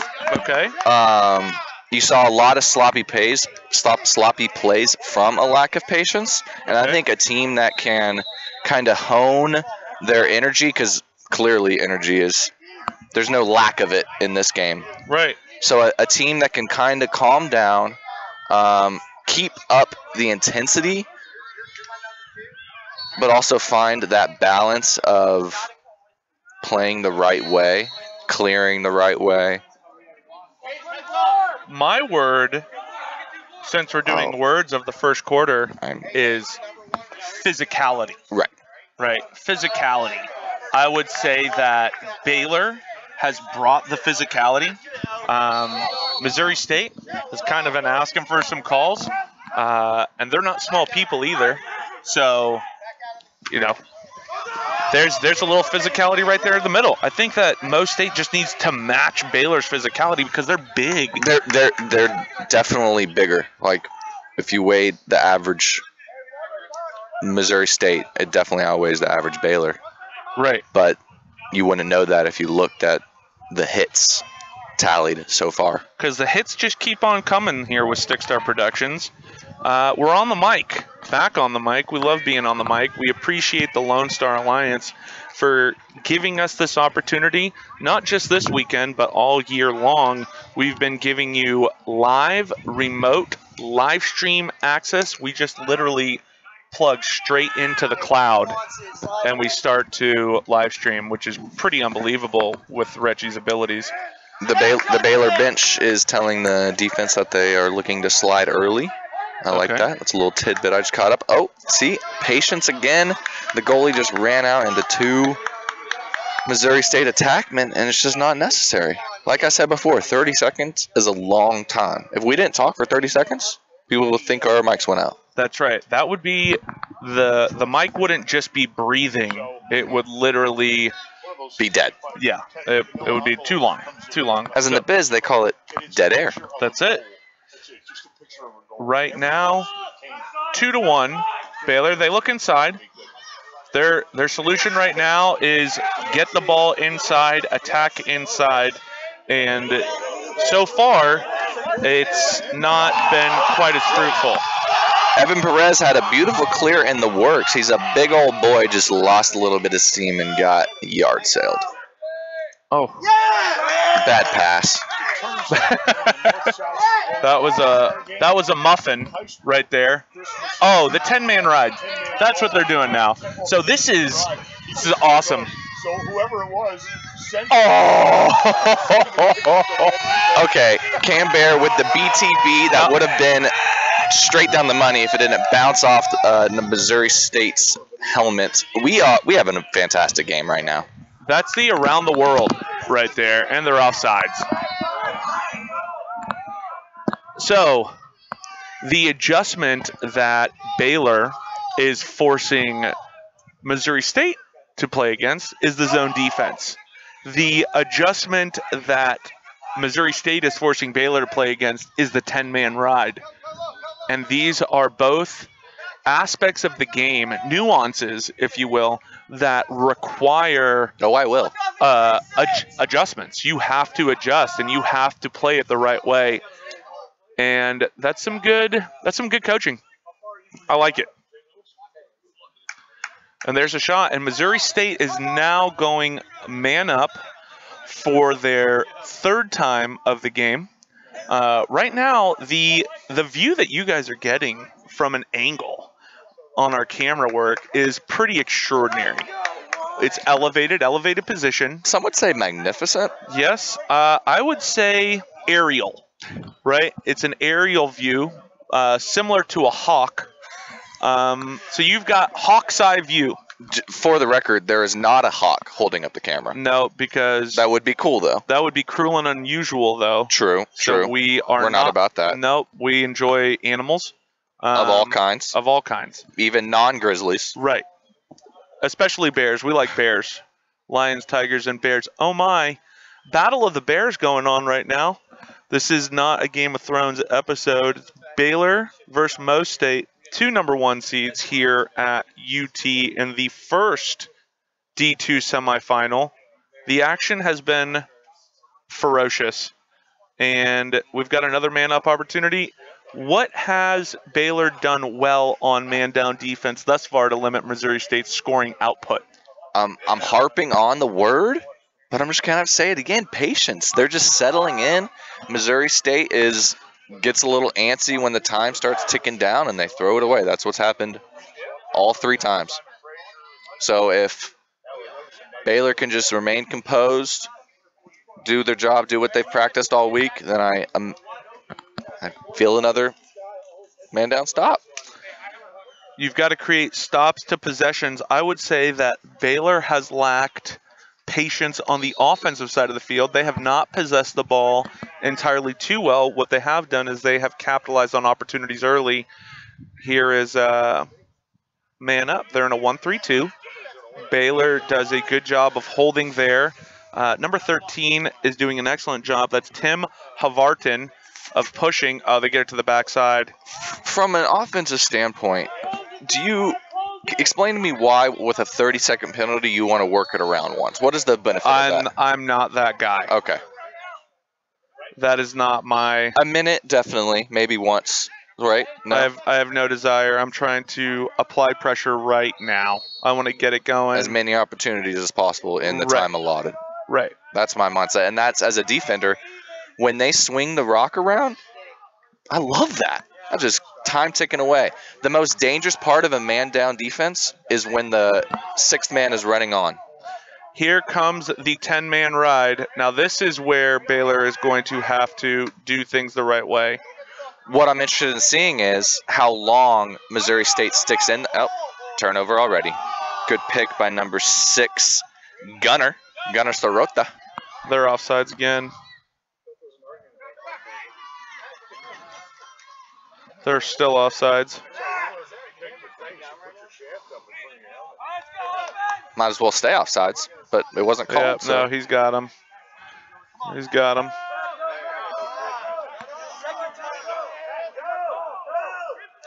And now the penalties are starting to mount up. The possession time is starting to mount up. Missouri State going to have to do a good job of capitalizing on these opportunities, or they are going to be, uh, you know, not not pleased with themselves as this game. Oh, that was a nice little bounce. Nice I've a- carom. I have a little rule question. Mm-hmm. Um, you know when you go offsides, you can send the offsides guy down Yeah. and just capitalize on your own mess up. Yep. Does it have to be the specific guy who went offsides, or can you send a, a poll, for example? I think. Well, you can't send a poll because they've already got four polls on defense, and that would be a fifth poll, and that would be another penalty. Um, so I think you just want to send the guy. But again, I don't think it matters. I don't think it's offsides on that guy. But that is a good question. Um, number three, Cooper Kelly. He's pretty excellent. He's been in good position. They keep applying pressure to that corner. Eight seconds. That's a big save. Big save by Justin Albright So out of Wisconsin. now this is another clearing opportunity. They get the ball to the middle. Oh, look. A 10 man ride, man up should be fortuitous. Should be easier, but it wasn't. That's pressure. And and another another solid ride. 10 man is a very solid adjustment by Dustin Rich. They've got transition. Mo State getting tons of shots, but the shots have not been on cage, right? Most of the shots have been they've been corner seeking. And as a as a defender, I love when an offensive guy is more focused on getting the hardest shot possible Right. than a well aimed shot. Great. Right now, the Baylor defense is proving to be Poise. right, and they look to force the ball inside. Ball's on the ground, and this is where they've got to clear the ball. They've got to clear the ball early in the clear. I'm telling Justice Greenberger is my player of the game for Missouri right now. He's just making plays happen all over the field in different ways. Face-offs, rides, offense. And Justice Greenberger is just a sick name. He's big. Let's see if he does it again. He's gassed. This is where they got to make a play. Coach might need to take a timeout. Oh, got to catch that ball and just possess it. Can't worry about scoring the goal right there. Just need a possession. I th- I- it's either four or five straight clears that Missouri State has been successful on the 10-man They ride. need the ball back. Might not even shoot that. So, oh, you were saying right there it might have been a more wise move since They, They haven't. they, they- haven't had the ball. they didn't have numbers either. So, you know, the defense is tired. Yeah, that's that's a hard in-game thing to like the as a player. You know what I mean? If the coach, the coach should have told him. I think in that situation to Well, I just that. That's just what I would be communicating right now. You got the box. If this guy gets off the field quickly, and now you're out.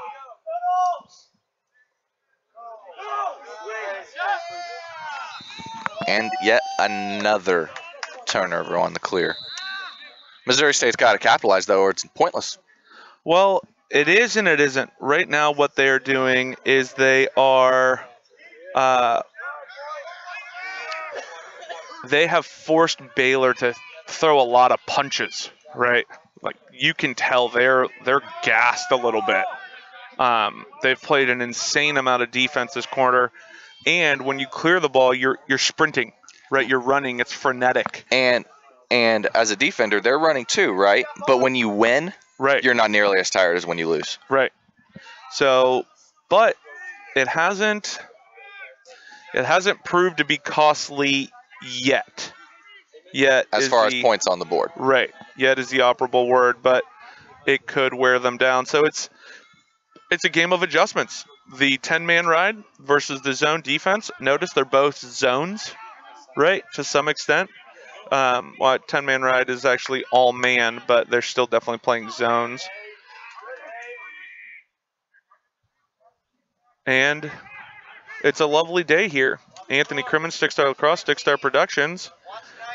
They're looking inside. They look over the top. it's a zone until a man is in your zone, and then you're on. Them. Right. This is another thing that the zone does. It forces you into, you know, some tough shots. Got to clear the ball the first time. Got to handle. That's a good job. That was a no call there. They could have technically called a. Oh wow, that was big. That was important. Chris Horton, sophomore midfielder out of Irvine, California, with the bouncer. A lot, Now, of, a lot of bouncers that I like it. Now that's a good shot, unless it doesn't go in, because then that's another. Wasted possession. Yeah, they have not had the ball, right? But that's something that Baylor has done is that they have converted on more of their opportunities, right? Um, so we'll see if that storyline continues to play out in the second half. And if you're Missouri State, you can't let that one play get you down. You know, what I mean, you are winning this quarter. Motivation, momentum wise. Right. That's a big face-off right there. Now you want to possess. Now you want to get the ball to a guy guarded by a shorty. Timeout. Good call. Timeout Baylor. Baylor currently winning the Battle of the Bears. Mo State, not for lack of opportunities, just haven't been able to convert. They've been settling from the outside, which is something that this zone defense is going to force you to do. I'd like to see Mo State change things up, maybe with a little three quarter bounce shot. A lot of their shots have been high to high, and the 10D for Baylor has been up to the task from deep. Pretty exciting game so far.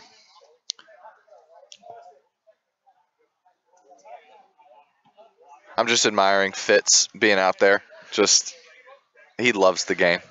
Tom, Does anybody love the game more than Tom Fitzsimmons? No, I think it was a race to Austin last night between us and Tom. He was at the Jesuit Highland Park game. A And fantastic environment. It was. It was a great, great game. Great atmosphere. Highland Park was able to beat Jesuit last night by a score of eight to five. Cooper Kanish, your man of the match. We haven't posted it, but that's what's going to happen. Uh, Spoiler teaser- alert. That's right. Spoiler alert. Um, and then you know, rise and shine. That's the first person we see here.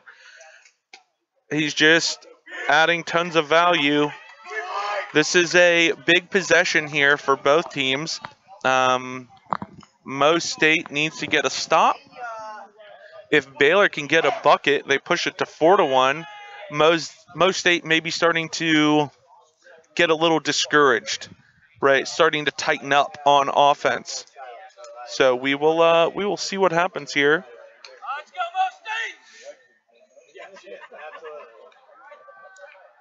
And th- this is, if I'm correct, the first six on six for Missouri State this quarter. All right, Baylor, yeah. Yep. It's uh and here they come out. They go with a they go off they go with a shut off of Trey Camber. Can't can't hate it. I'm sorry. I'm uh, not letting that guy shut me off. Oh, I see. Uh, from Right. Trey's perspective. Yeah. I mean, I like that guy, but I'm going to say nope. I'm not letting that happen. Force the ball inside. That's just not not an option for me. Well, what would what would you do legally to combat that? Because Uh, I don't think speed is on his side. Well, you don't need it to be on your side. And there you go. There's a Oh. finish. Crafty finish. Number two. Shane Clausen, freshman, getting his name on the board. Uh, St. Charles, Illinois. Yep, and he was fed by David Bierman. Beer me, Beerman. No, I'm, psych, I'm working. That's right. Coffee me, Coffee me. Bierman. Um, uh, what can you do? Well, if I am Trey, I might just post up, right? Just post up. Use that big old booty. That's right. Just get low, box out, demand for the ball, uh, set an on-ball pick, right? Force them to switch. Um, a lot of things you I can was do. gonna say a lot of options. Clearly, Uh, put your man in a position to slide. Um, that's pushing the back with possession. Jake Parker was the one with the ground ball, but once again, Justice Greenberger with another face-off win. And that that goal, although it was semi-anticlimactic in its um, execution, big for momentum. Back to a, back to a one-score game. Huge. It stopped the Baylor run. And notice that the both of the goals against Baylor's goalie have been on the ground, right? Haven't haven't finished up high. Let's see if Dustin has also noticed that. Coach Rich, who copied my hairstyle, whatever. It's uh, great minds think alike. And now, Mo State settling in against the zone. 3:45 left here in the second quarter. Tons of action. I've noticed solid communication. Yo, Jake Parker, another freshman getting his name in the paper with a another bouncer, which how about you listen to Crimmins? Weird. Yeah. Weird. Why don't you take this guy's advice? He's, Weird. seen, he's seen a lacrosse game or 9,000. That's a uh, three-quarter bounce. And, the game is tied. tied with 3:36 left. Um, it's a long game. It's also a game of runs, as we have said once or twice before. That's right. And Baylor right now needing possession, but you can see uh, That's a helmet on the ground. That's not allowed. I like that he kept playing, though. defensively. Jake Coward, not a coward. Right. Nope. What you're seeing right now, though, is it's a it's a little jelly legs, right? You can see that their their legs are a little bit Mm-hmm. Definitely. uh, They've, there's been a lot of energy. Ex, ex, ex- expounded, ex- ex- ex- expensed, uh, expounded. a lot of energy been used. Right. We'll use Love, the uh, love the English language. yeah. Plethora of options to go with. Justice Greenberger is just making this ground ball game. Up, got to his stop the ball. job. Look off. Oh, I like that idea. He it looked off, looked like he was going to pass, looked like he was going to pass. Could have threw his hands a little, could have exaggerated the hand movement a little, cleared up the space for the goalie.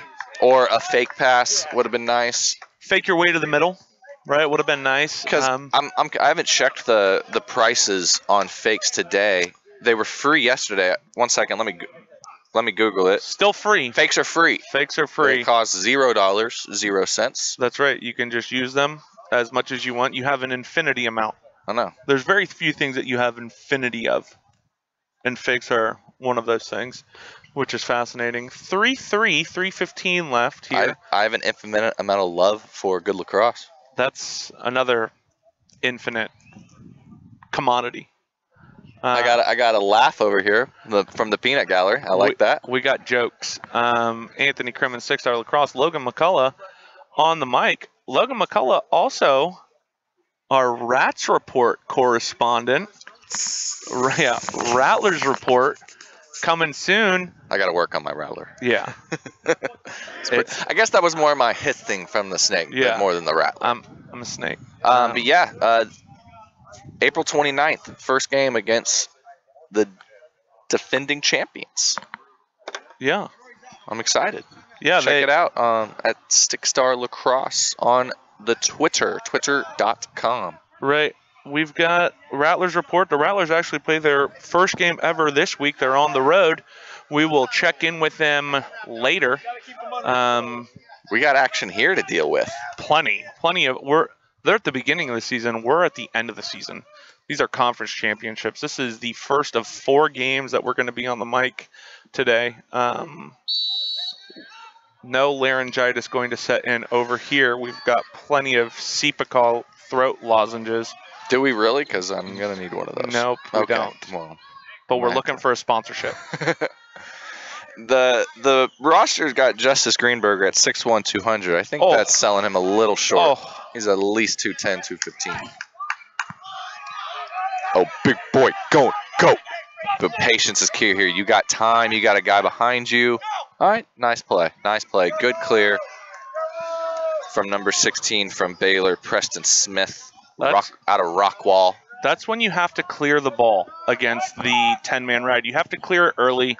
You have to take advantage of your opportunities. You want to be patient, but you also got to kind of go at it. Uh, right now, if I'm Baylor, I'm looking to get the ball to the big guy down low just to make sure that we at least get the ball into his hands for the beginning of this possession because he hasn't touched the ball in a while, right? It, it, I mean, if this might tell, correct me if I'm wrong, but I think he should have at least one touch every possession. for sure. You want to just uh, make sure that he gets the ball. Still hasn't touched it yet. MVP of the conference for a reason. Believe so. Oh wow. Good feet, crease feed, nice. Um, Josh Britt, I believe that's number two on the day. Josh Britt from Christian Sun. Missouri City, Texas, not to be confused with Missouri State. I know that could be confusing for folks at home. It could be. Probably not, but Maybe not. I'm excited to see Justin Greenberger take a face off. But uh, no, that was just a crease feed and a solid finish. Nothing, nothing fancy there. No, but he was open. He was definitely open, and He- the crease feed is. We talk down on the crease feed, but if it's available, it's a It's an option. it's something that needs to be in the repertoire. Right. Um, Shout out Luke Rivera. that's right. 148.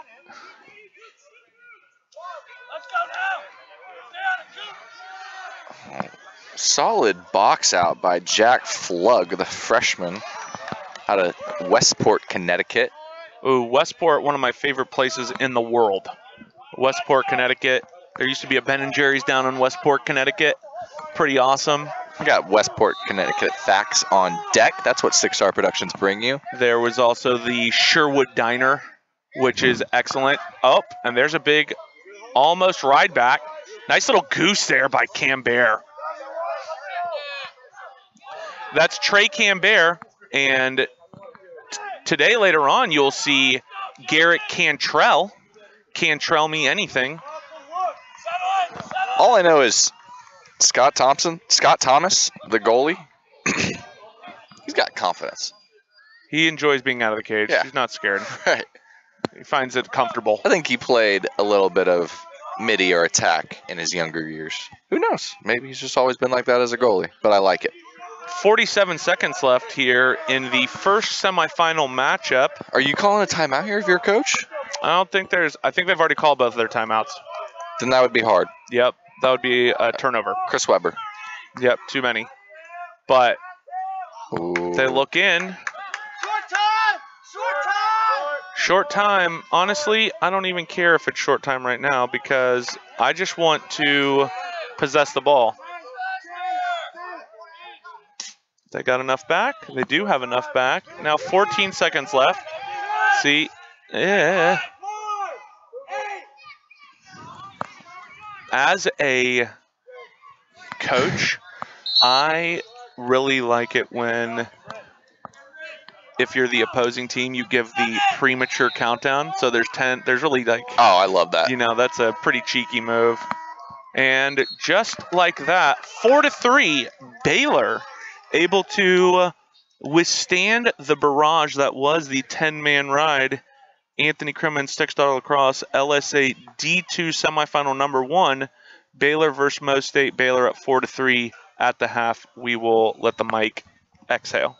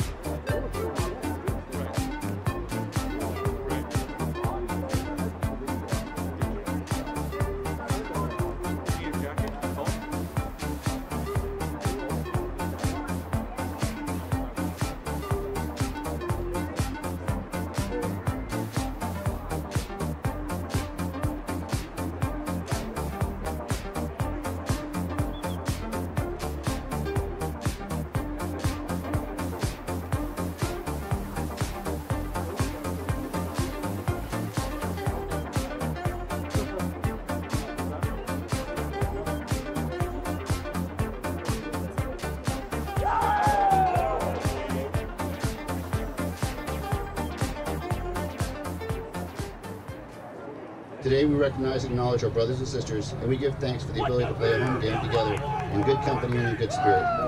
We recognize organizations like Shootout for Soldiers who raised funds to recognize our heroes, and we give thanks for their generosity and willingness to support amazing events like this. Thank you for the ability to be here today. Thank you for the ability to stand among heroes and you.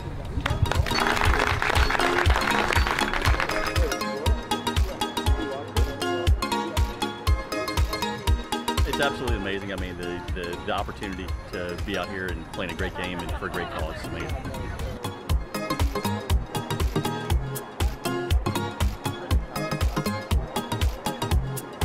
big honor because you get to help out with someone that sacrificed their life or sac- given everything for this country. So you get to give a little back, and you get to play the game you love.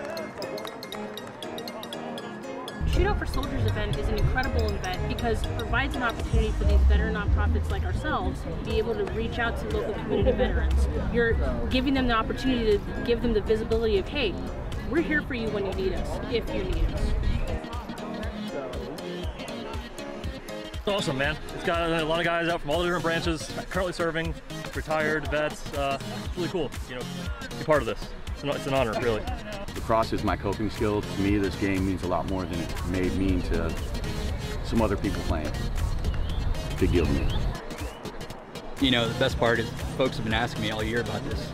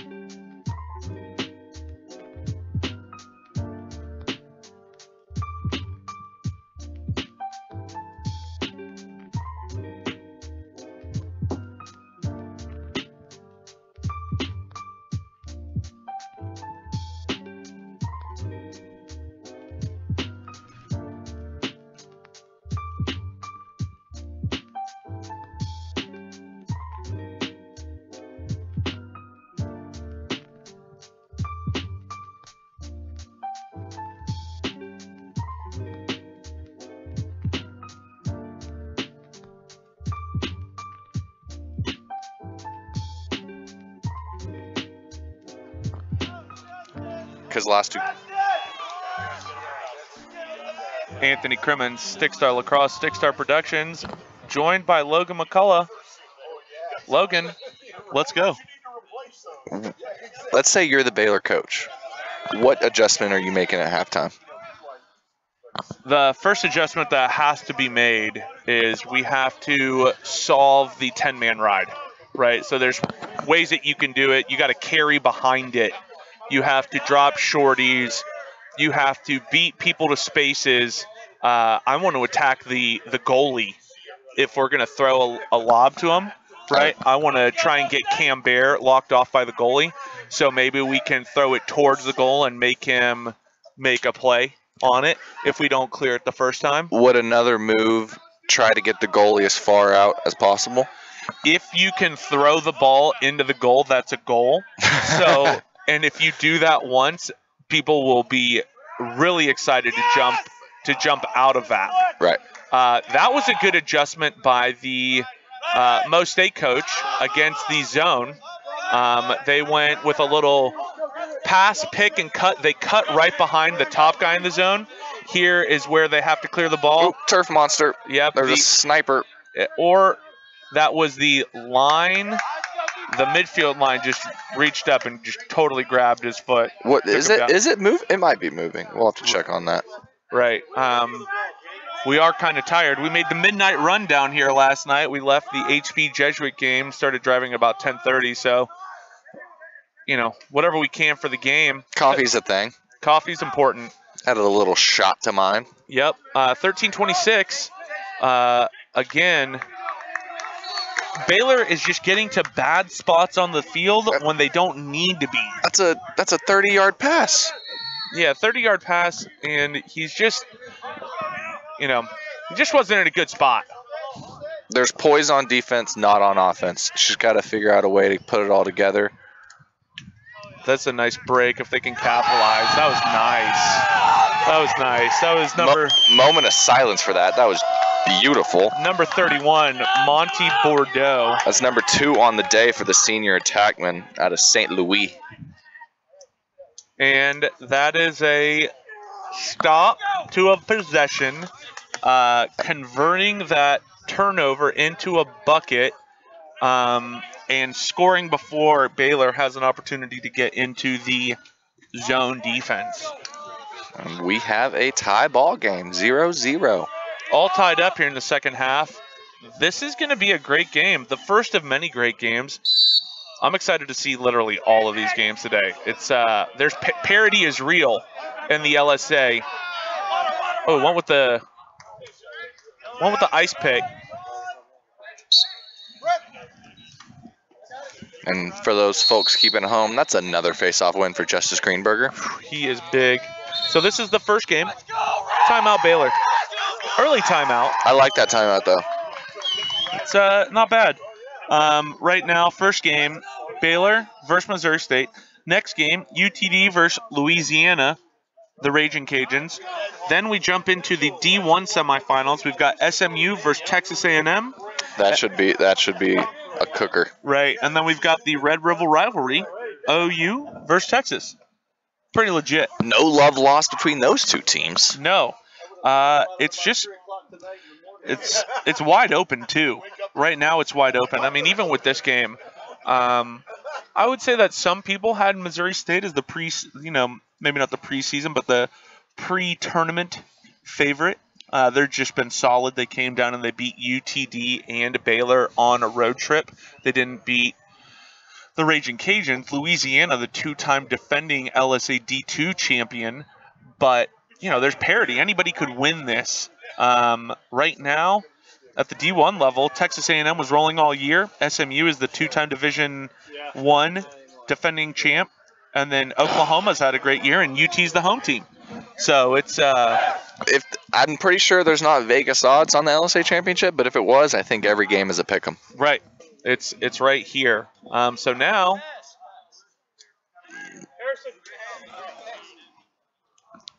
here we go. I do think that the moisture has been uh, Definitely. an issue with sticks today.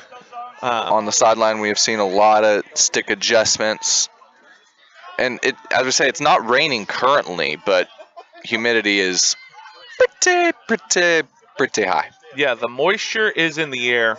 Um, so now you've seen Missouri State. They have made an adjustment on offense. They are in the 1 3 2 now, right? So now there are some gaps in the zone. There's a ball side cut. Um, that's a good job of getting back over the top. Nice wind up there, but that's where the help is. Good job. Just want to be patient. Missouri State starting to get a little chirpy. Um, which I love. Right. That's definitely uh, It was a big, big component of my lacrosse game.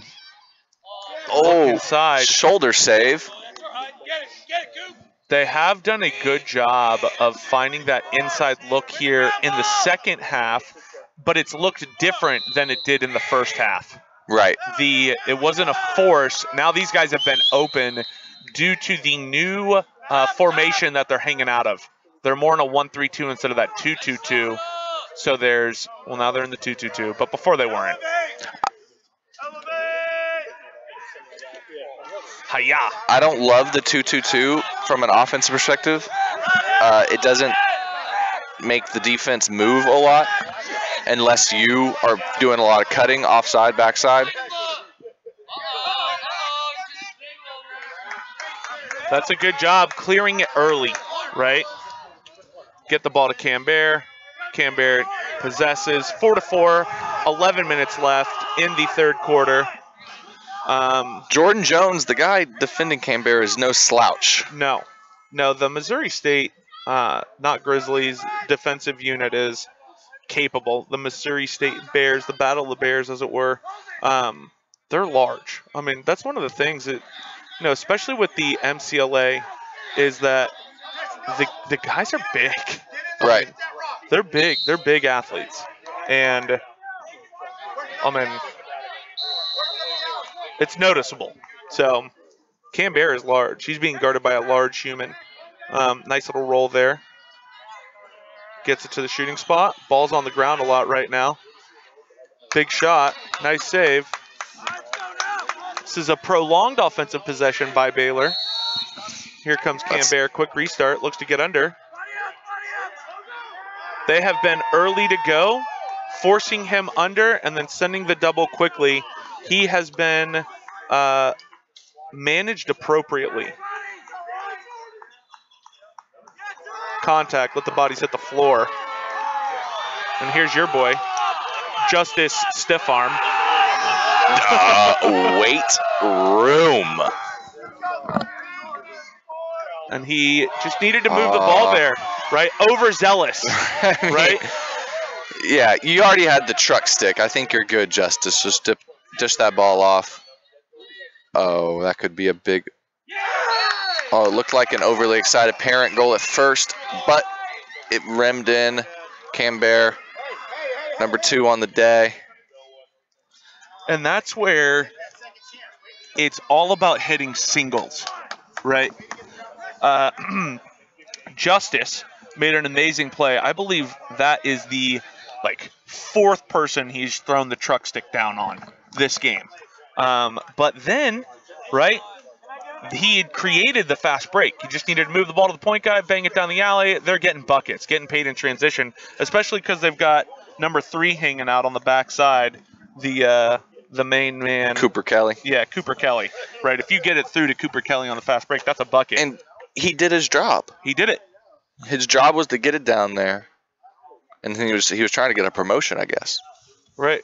Oh, this is a stick check call. Stick check. One two one two.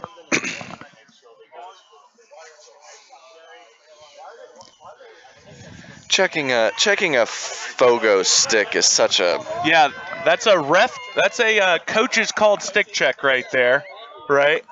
Which is tough, um, especially on the face-off guy. It's hard to keep the structural integrity of the stick contained, but to the Baylor face-off guy's credit, he was able to do it.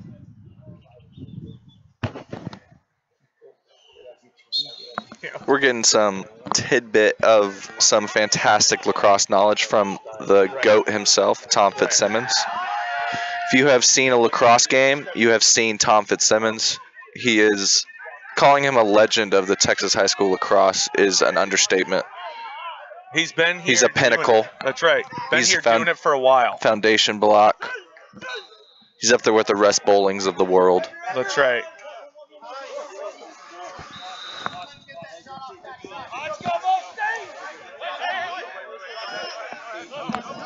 And here's the zone again, a little more uh, extended Right. zone right there. Well, Perez has made it clear all game he is trying to throw and land as many checks as possible. He's a big guy. Right. I mean, he's huge. Six four. Quite a large human. Six four, two twenty. Shout out his parents for paying all for that food. Here's that. Uh, here's that look. They're going pat. They're going pick up on the wing, and then they're cutting. They're carrying over and cutting the man who picked. Um, here it is again. They keep looking for that. That's not a bad look right there. That's one of the ones you just got to take because you have backup. The, one I of the think, right? yeah, one of the impressive parts of the Baylor zone defense is the length, Mhm. right? They've been doing a good job of keeping the sticks active. That's one of the shots that you want to give up though in the zone right there. But that oh, Ooh, just a little high. Laundry all over the field. We need tied here immediately. I don't know. I don't know if that was high. I just feel like Tied. that guy, Tied. Yeah, yeah, no. Oh. I don't feel like that was a high hit. I mean, I feel like he was bent over trying to pick up the ball, so now his head is at, you know, waist level. So I don't know. Well, I, Point of parliamentary procedure. I, I think I think that's a little semantics because even if he's low, Can like let's say he, let's say he's four foot five. If you hit him in the head, it's still a penalty. Right. Shout out Tyler Landis.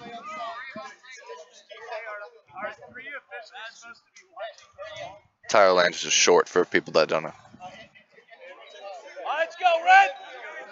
It's interesting to watch the strategies of the coaches with the refs. One ref ha- or one coach has been pretty quiet in terms of uh, in terms of the ref, and then the other coach has been fairly vocal. Not exactly sure what Jake was looking for there on that shot. He still hasn't found what he's looking for. Reference U2. Thanks. Crimmon is old for folks at home. yeah. I mean, U2 is uh, timeless though, right? Oh, oh, he found it. He found it. Yep. Jake Parker, freshman. That's his second. I believe four of the three of the four goals have been freshman goals. I believe. I'm gonna get my uh, stat guy on that. Three of the five. Three of the five. Or no, is uh, No, yeah, they're home. Who's number 31? Is 31 a freshman? Senior. No. Okay, so yeah, three of the five have been. Um, that was Stickside. That's the first time they've capitalized on man up. I believe they're like one for five. And uh, now it's five to five.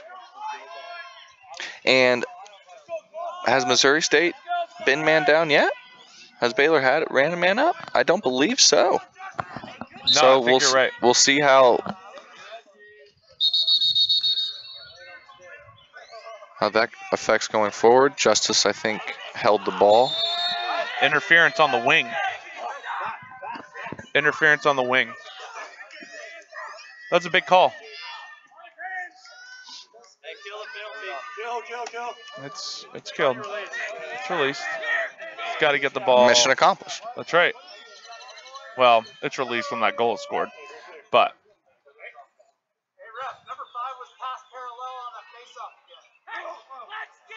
that's a stick in the uh, in the passing lane. Everybody's getting excitable right now. Can't dodge the man and the slide. That's a lot of bodies on one guy. I I mean that that was the same call on the other side. Yep. Right. Same thing. Same same. seemed like a shoulder. Same same. Um, but high, it's a high shoulder. It's a high shoulder. Right. His shoulder is high. So, and there you go. You jinxed Mo State, and they got their first penalty. I apologize, non-Grizzlies, but let's see. Let's see what the man down's got. Justice is in the box. Right.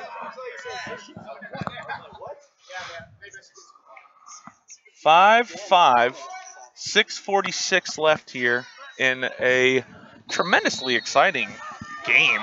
The first one, and they've gone lock, Cam Bear. So they're playing four on five up top. I love that as a defender. I love when we do that. It just gets them out of their comfort zone. Oh, cheeky chip. And that's a uh, That was a very head-up play by the Missouri State defender, number 23, Jonathan. Oh, forgot something.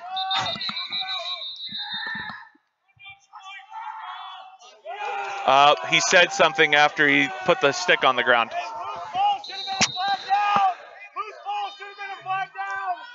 See, when you're got, we, you, when you're if you're gonna talk, you gotta pick your spots. When the ref is right next to you, probably not the best time, but Not a great spot. but I got I love the enthusiasm. I'm probably looking to dish here if I'm six. Solid. Good clear by Gunner. That was important. That was important. This game has been tight from beginning to 546 in the third, and uh, there's no uh, no signs of anybody letting up. First penalty, killed. So And a good adjustment, Right. They locked off Cam Bear. Uh, Baylor still got a good shot. Here's your boy. That was a big save. I'm an to object. I'm an objective journalist, um, so I do not have a boy. Right. I'm just saying that I respect him. Yeah. Yeah, he's my boy. Uh, that is a really good job of clearing the ball there. I will tell you that. Right. That is a unfortunate job of the end of the clear, but able to possess, possess, able to still able to possess, and they possessed. On that clear, on the clear, ball moves faster than man, right? But sometimes you have to move to get to a better spot to pass. Right. They did a good job of uh, hunting the ball initially and then flashing a shorty to the backside. So now they're essentially dodging, right, the backside short stick in the 10 man uh, to get out. Oh my. Uh, that was electric. Cambier just destroyed his stick over it. He pulled a um, bow, uh, Bo Jackson on his lacrosse stick. That was electric. The camera didn't pick it up, but wow. Yeah, the uh, appears he had a. Uh,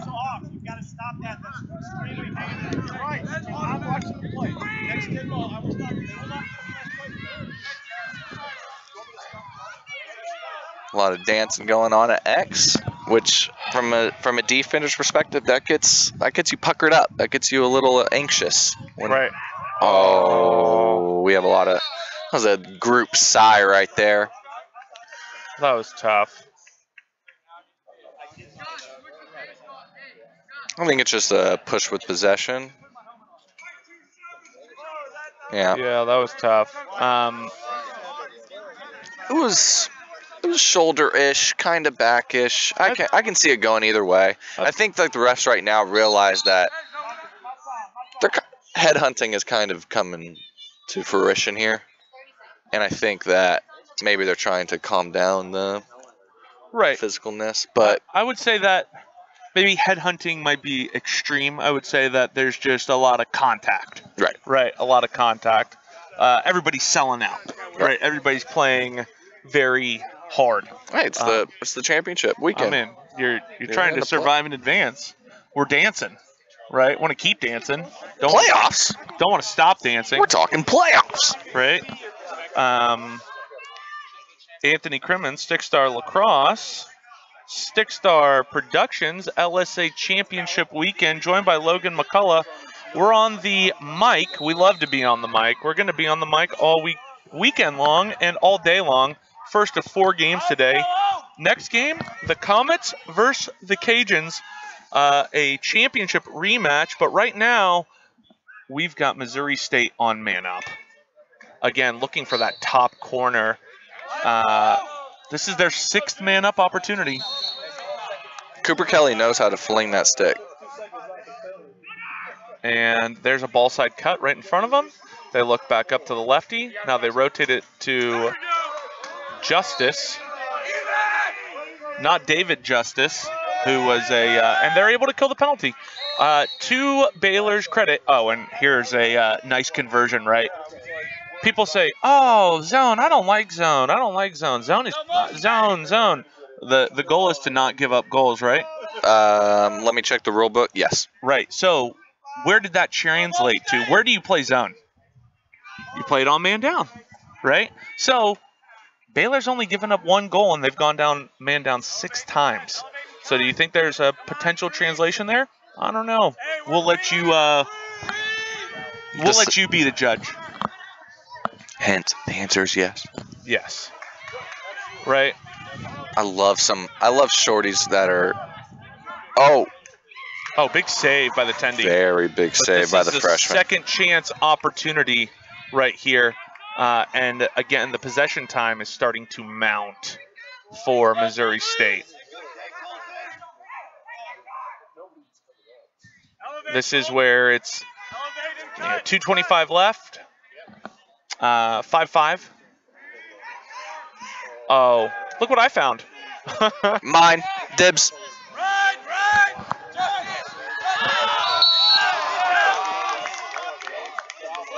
Fantastic one-on-one defense from Attackman. And this is second chance opportunities. This is Third where- chance. Right. This is where just from watching uh, an extreme amount of lacrosse, this is where you see goals get scored. And right. it's demoralizing goals. Right. And it would be Missouri State's first lead of the game.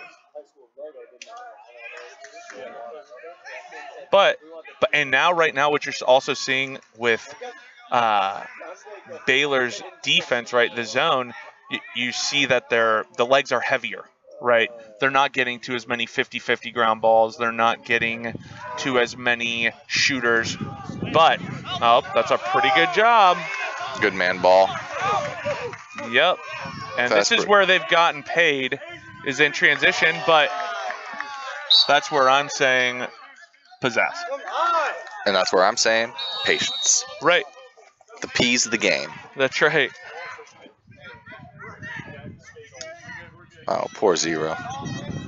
That's just tough. I'm in in space. That's not it's not Right. a matchup he's Right. gonna win. It's not as and he's not supposed to. exactly. Right. Don't don't get upset. Right. 52 seconds left here in the third. They look inside. Eh.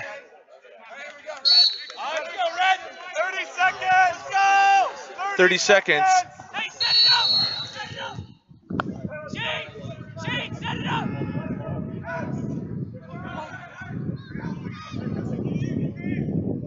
That's not us breathing heavily. That's us letting the mic breathe. And that's the bounce shot. And that's Justice Greenberger. And that's Mo State's first lead of the game. Greenberger.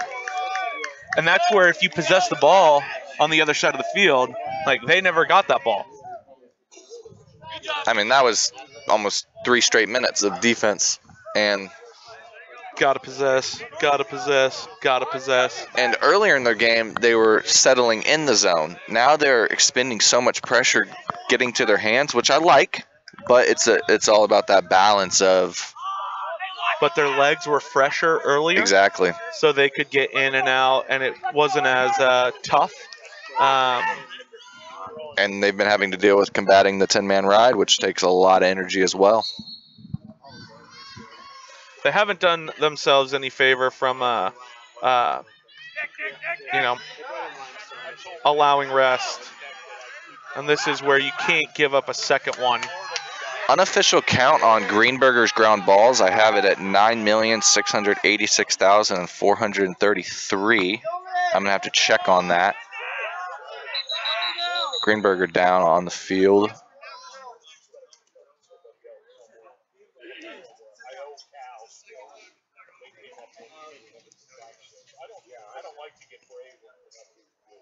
I'm not sure I saw anything there. I think that's just an exhaustion. I was about to say, I think he just needed a little breather, and I respect it. Heads up play.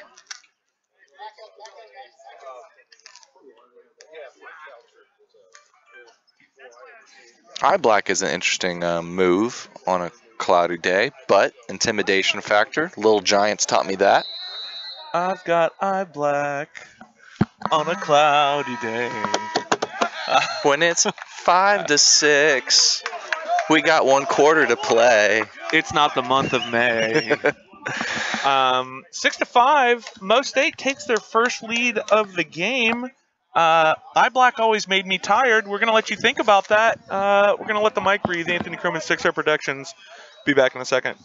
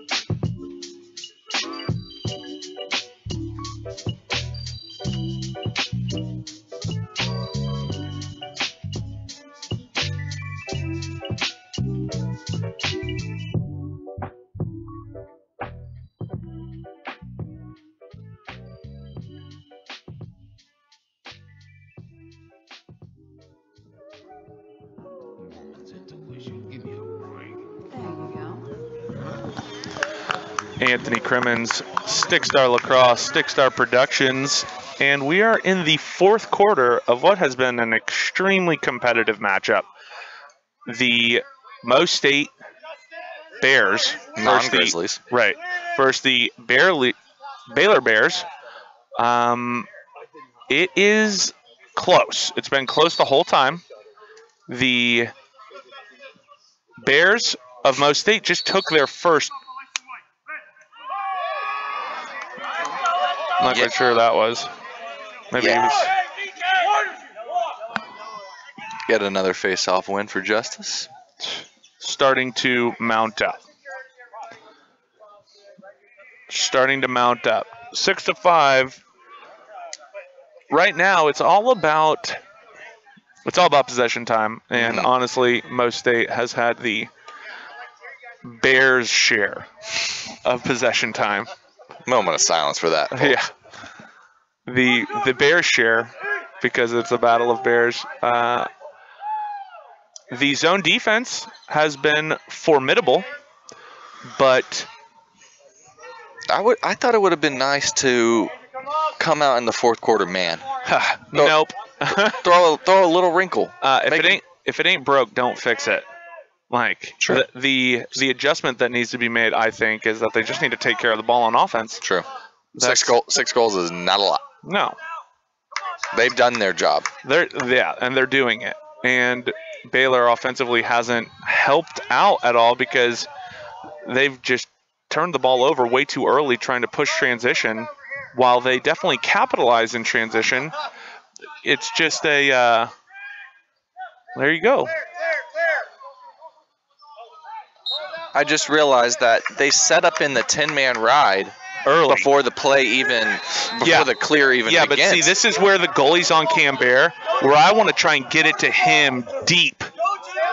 Right. Throw up a jump ball, or if anything. Yeah. He has size. Put it in that goal. Make it a 50-50 ground ball. Yeah. Right. Because even if he doesn't win, he gets the goalie way out of position. Way, way, way out. Still on the same clock. Got to send it. That's not where you want to send it. Still on the same clock. No, no, no. But mm, That's Coach Crimmins getting into it, not announcer Crimmins. What, what was what? Well, what should have happened there? I just well, I mean that's probably a technicality, but I feel like the guy, the mistake guy picked the ball up, and that's why the plane of the ball changed to some extent. Maybe he didn't uh, completely get possession, so that's the the issue there. But again, it's a hard game to ref. Right, it's not easy, uh, and we don't. coaches ask them to be perfect, and we don't coach perfect games, so it's tough to ref a perfect game. Although every single time Tom Fitzsimmons refs a game, it's perfect. So shout out. But there's another. That's another like so. There have been turnovers on every single one of these possessions early. That's in the back with possession. I mean, That's that is not. I would like if they were doing that all game. I'm okay with it, but that's just not consistent. That's what we're looking for out of refs. That's a call that's been called three times this game, almost identically. Um, I guess it's maybe a fourth quarter mindset, but gosh, you have to get a touch here, and you have to possess. Possess, possess, possess, possess.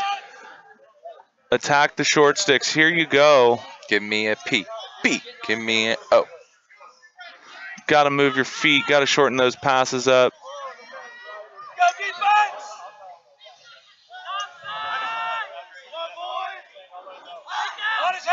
This kid can float.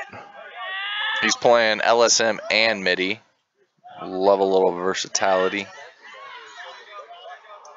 This is where got to get the ball to Cambert. I would like to pick. I'd like to pick for Cambert with a shorty, right?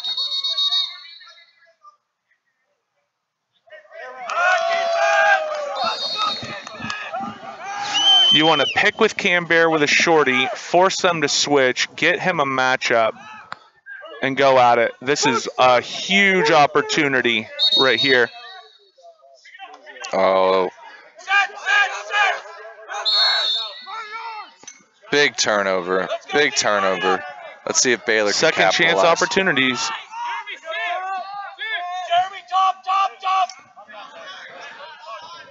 Full speed, asking a guy to clear through. They're ready to go. They don't have a two slide on the crease. He's open.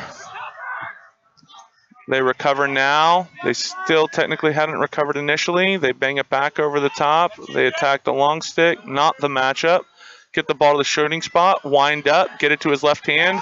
Ball's on the ground, loses his stick. Do they call push in the back or playing without the stick? Playing without the stick is the call. 10 minutes left here in the fourth quarter. Uh, still a ton of time. They're, they're just not getting to the right spots. but they've at least possessed the ball. That was a possession. Right. Right.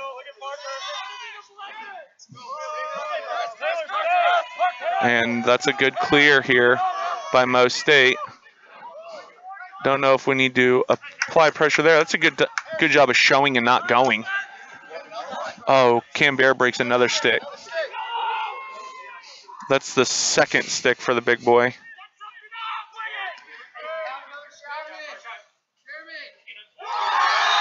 Justice just with a nice sidearm, top right, looking pretty num- for number two on the day, and a two-goal lead with 9:27 remaining in the fourth. The semifinal matchup battle of the Bears. That was a nice shot, offside high.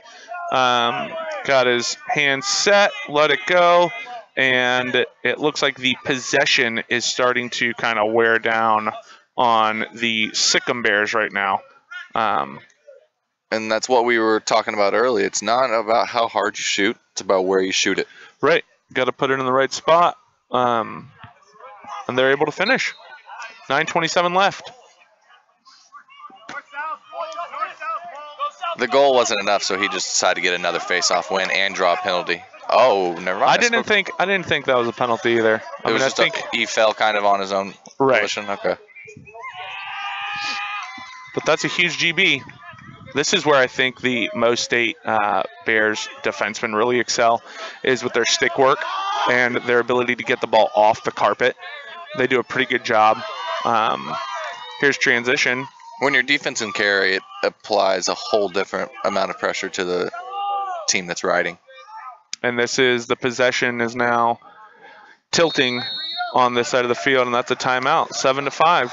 I, I was always blessed to play with defenders who enjoyed carrying would be an understatement. Right. they lived to carry. Right. The Brandon Mullins of the world, the Sammy Jays of the world, the Zane Zotas of the world, that the Sky Whammy was their friends and they can make things happen in the open field.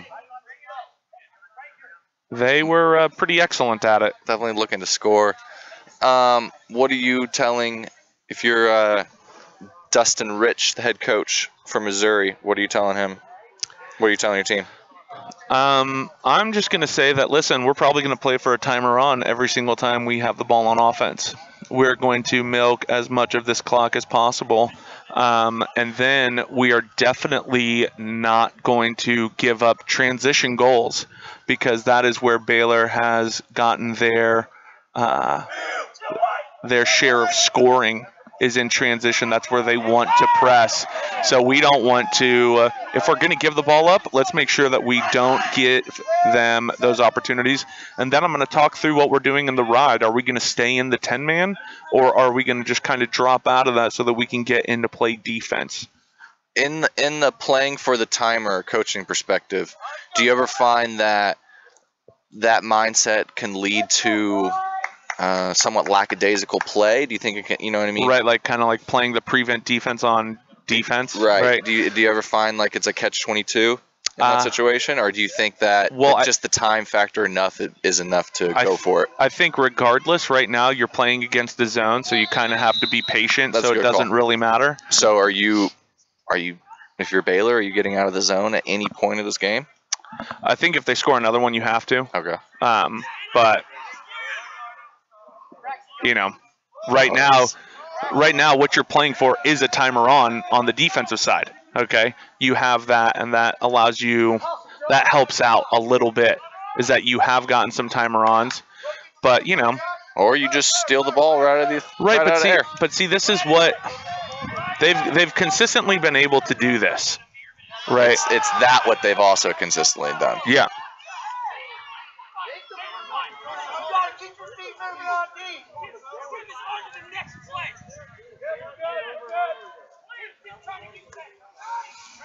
And that's um another wasted opportunity.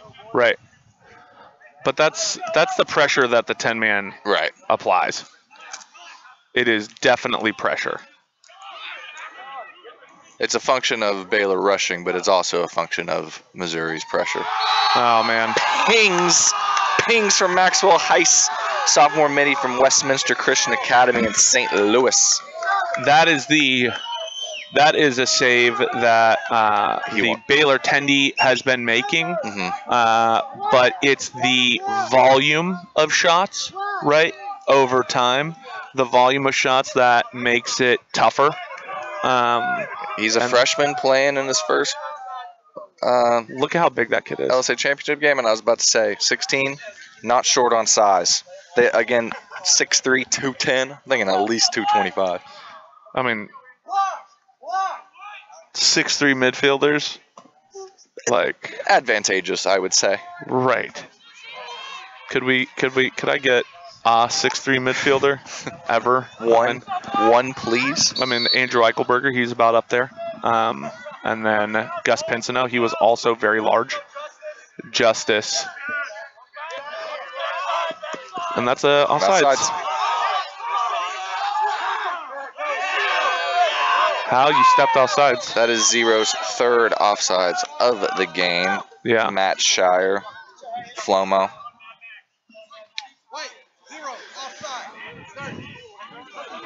It's interesting because the two Flomo kids on Baylor, they went to rival schools. So it's kind of fun to see them playing on the same team now. Right.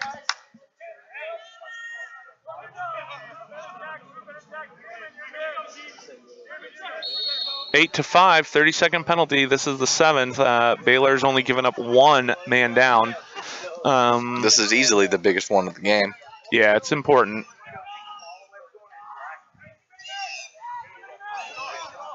One, two, three, four, Yep. five.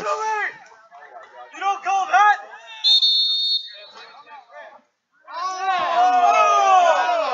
Come on! Yeah, that was tough.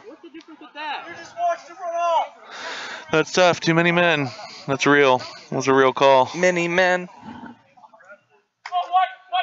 Wish lax upon me. Yes, I was trying to figure out how to go with that, but it was a tough, uh, tough, fit- transition, yeah. tough 50 reference. F50. It's eight to five, 656. Heady play, heady, heady play by their coach. I like Right. that. I mean, that's one of the things that there's not much you can do unless you can get away with calling a timeout. Right. That well, he you know the guy was hanging out next to the box. Yeah. So at least um, wasn't wasn't a part of the play. Didn't really affect the play. So it's tough to really get too upset about that. Um, that's that wasn't the issue there, and it hasn't been. Right now, you look at it possession, right? That's been the that's been the name of the game. Okay, that is something that the zone defense allows you to do on offense. If you're Mo State, right? They are not going to pressure you too much, so you can possess. The zone ride gives extended possessions, extended possessions, and that's another possession, right? Got to start the penalty clock. Didn't matter. That's Beaut- another one. Beautiful dish for Bordeaux. Well, that doesn't really matter. They would have liked the penalty clock to run, but that hadn't been second seven seven seconds, and I mean It's waived anyways. It's what we like to call a moot point. yeah. Run four seconds off. Okay. Huge goal. Huge goal. No, that's not how that works. But We gotta respect. We gotta respect the. yeah, effort. that's right. Uh, Reggie, we throwing down Solomon's over there or what? Yeah. Uh oh. Joined the crew. Reggie also's got the Solomons. And another goal. Justice Greenberger gets the face-off run straight down for the Hattie.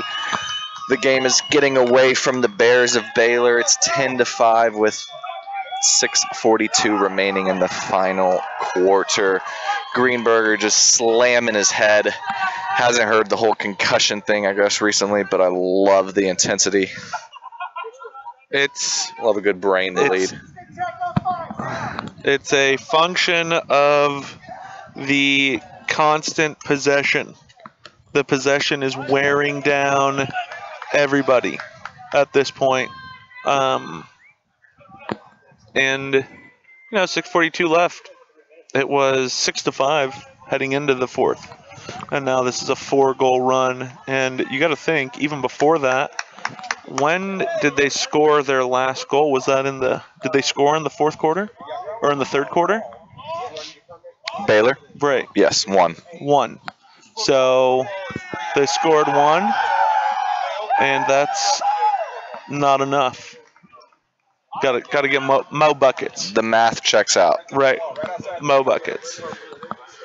I'm, I'm not keen on Greenberger's uh, conditioning routine, but if you're their coach, are you consider, you know, getting him one break from a face-off anytime soon? Are you letting him just keep going the momentum, not stopping things that working? Are you thinking about the championship game at all at this point? Believe believe this is his game, right? right. Like that's this is what he does. Yeah, he's he's a horse. He's a thoroughbred. Right. I, I don't think he wants to come out. No. But hey, five goals, six minutes. Crazier things have happened a lot. For sure. And with the MVP of the conference on the field for Baylor, anything can happen. They just got to get him the rock. That's They- a penalty. Good job drawing a penalty. I don't exactly love running into four defensemen, but Oh, they called a hold. Something. Something. Cambier needs to start with the ball. Yep, especially if they're going to shut him from the get-go. Start with the ball, get a pick, maybe look for a slip, maybe fake the slip. If he moves the ball, now they shut him.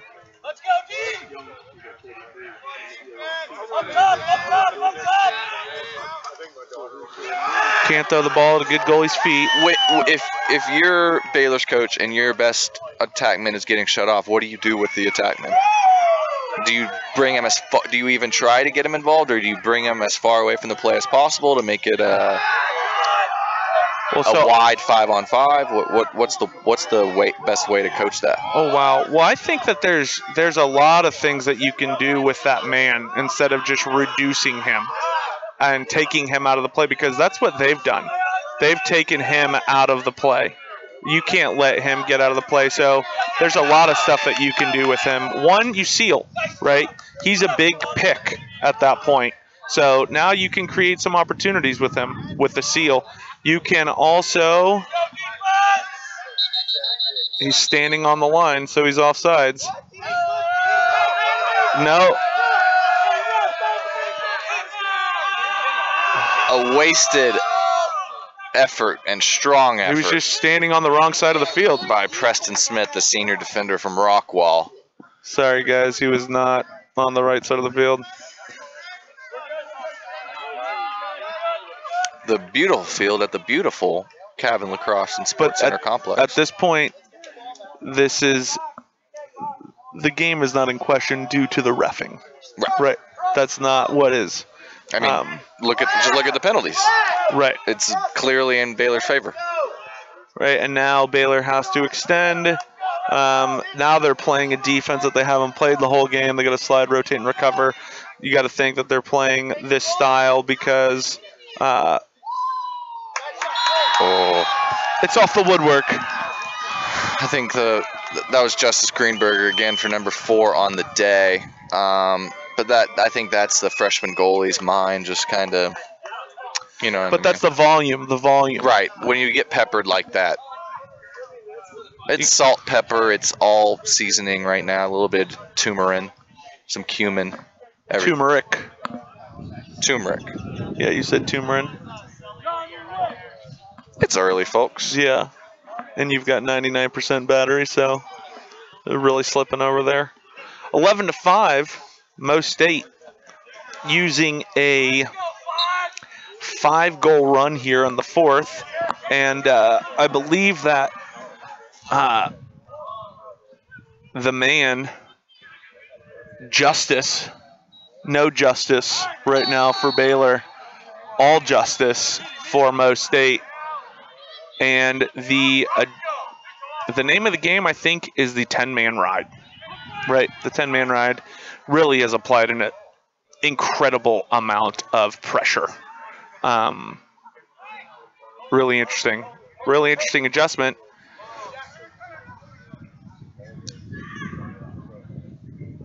Three forty-three left. Anthony Crimmins, Logan McCullough, Stick Star Productions, LSA D two semis. Yeah, semis. Sorry, that was a nice shot. Um, first of two. Get the ball inside, and this is just the. This is what possession does, right? Right. You've heard me ask for teams to possess at least once or twice. You've heard me say Justice Greenberger going out for another face-off, and Right.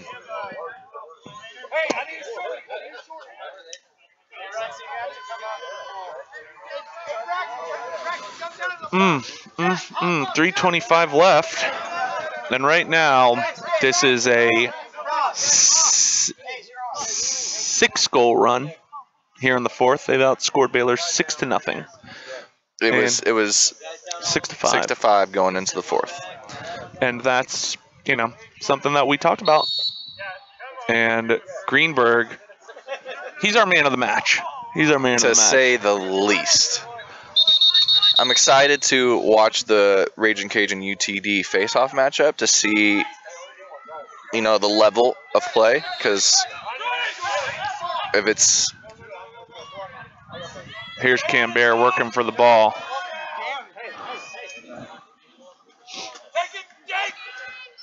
On his hands, Jake! Hey, one for the ball! Left side! dodging from up top, something I'm sure he doesn't do often. Bad force.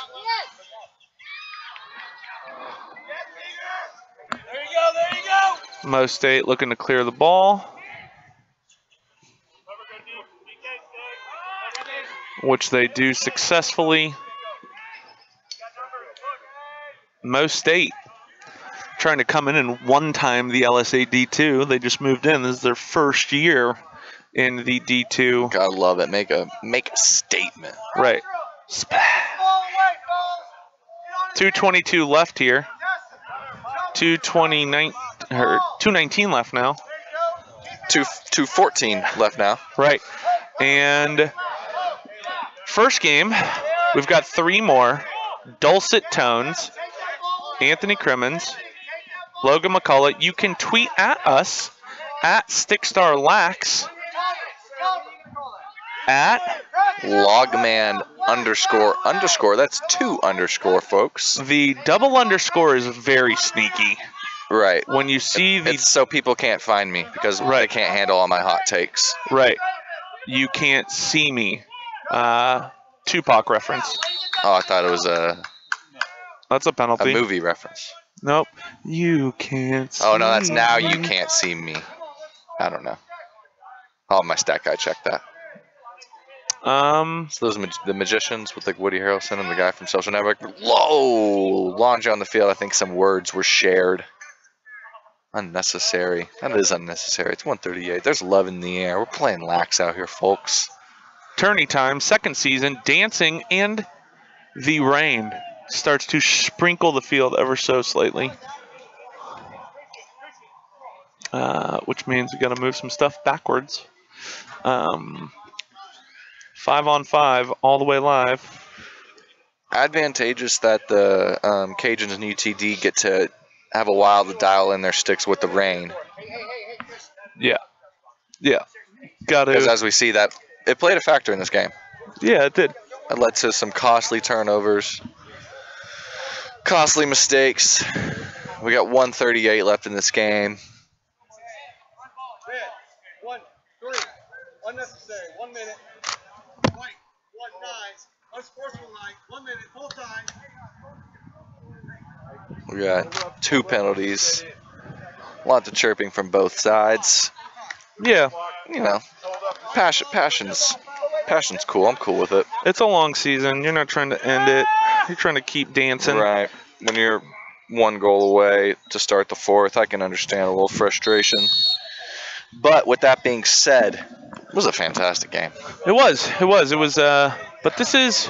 This kind of proves that the possession equation is real, right? Even if you don't like math. Right. I mean, it's uh, undeniable. There is um, the possession. It's super important. You have to have it, and you have to value it. You have to value the ball. Um, if you convert, and so this was what happened early.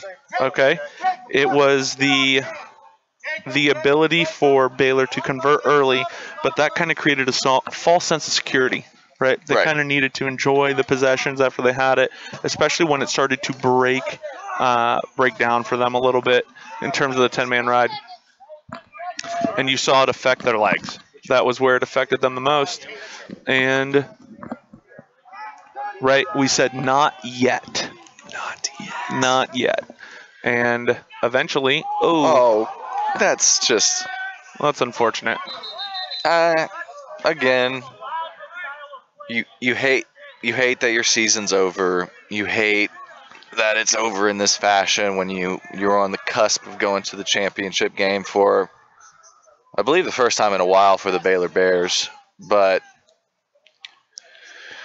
you got to be a got to be a man at some point. You got to got to have a little bit of a what's that called sportsmanship.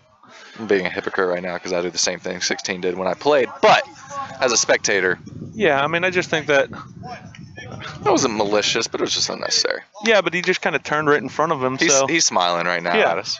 I mean, I don't know. You had a, yeah, you had a good clear early. Guy, guy picked it up right in front of him, and I mean, you know, I mean, yeah, he's a big kid. He just Right. kind of ran into him. It was in the back, It wa- but he, he agrees it was definitely in the back. I feel bad for his mouthpiece. It's taken some wear and tear, that's to say the least. but that's you know, I would say that that's yeah. Just gonna we all let the, we're just gonna let the mic breathe. Ten seconds.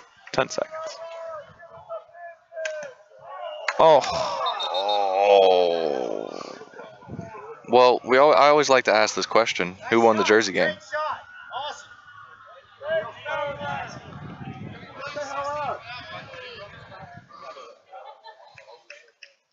He gets up on his own power, walking off. I think it's just kind of a bell ringer. I'm just gonna not commentate for a second and just let this game play out. And it was a good game until the fourth quarter, and then it just kind of got out of hand. But that's the possession thing again. Um, first of four games today, and then we got two games tomorrow. It's going to be great if this is a precursor for what we've got in store for us. It's uh, it's tourney time. It's dancing season. No new friends. Hashtag no new friends. And that is how this one ends. 12 to 5. Uh, 12 to 5. The Mo State Bears defeat the Baylor Bears in a battle of the Bears. Uh, final word, one word from Logan. Love. We'll uh, see you in the next game.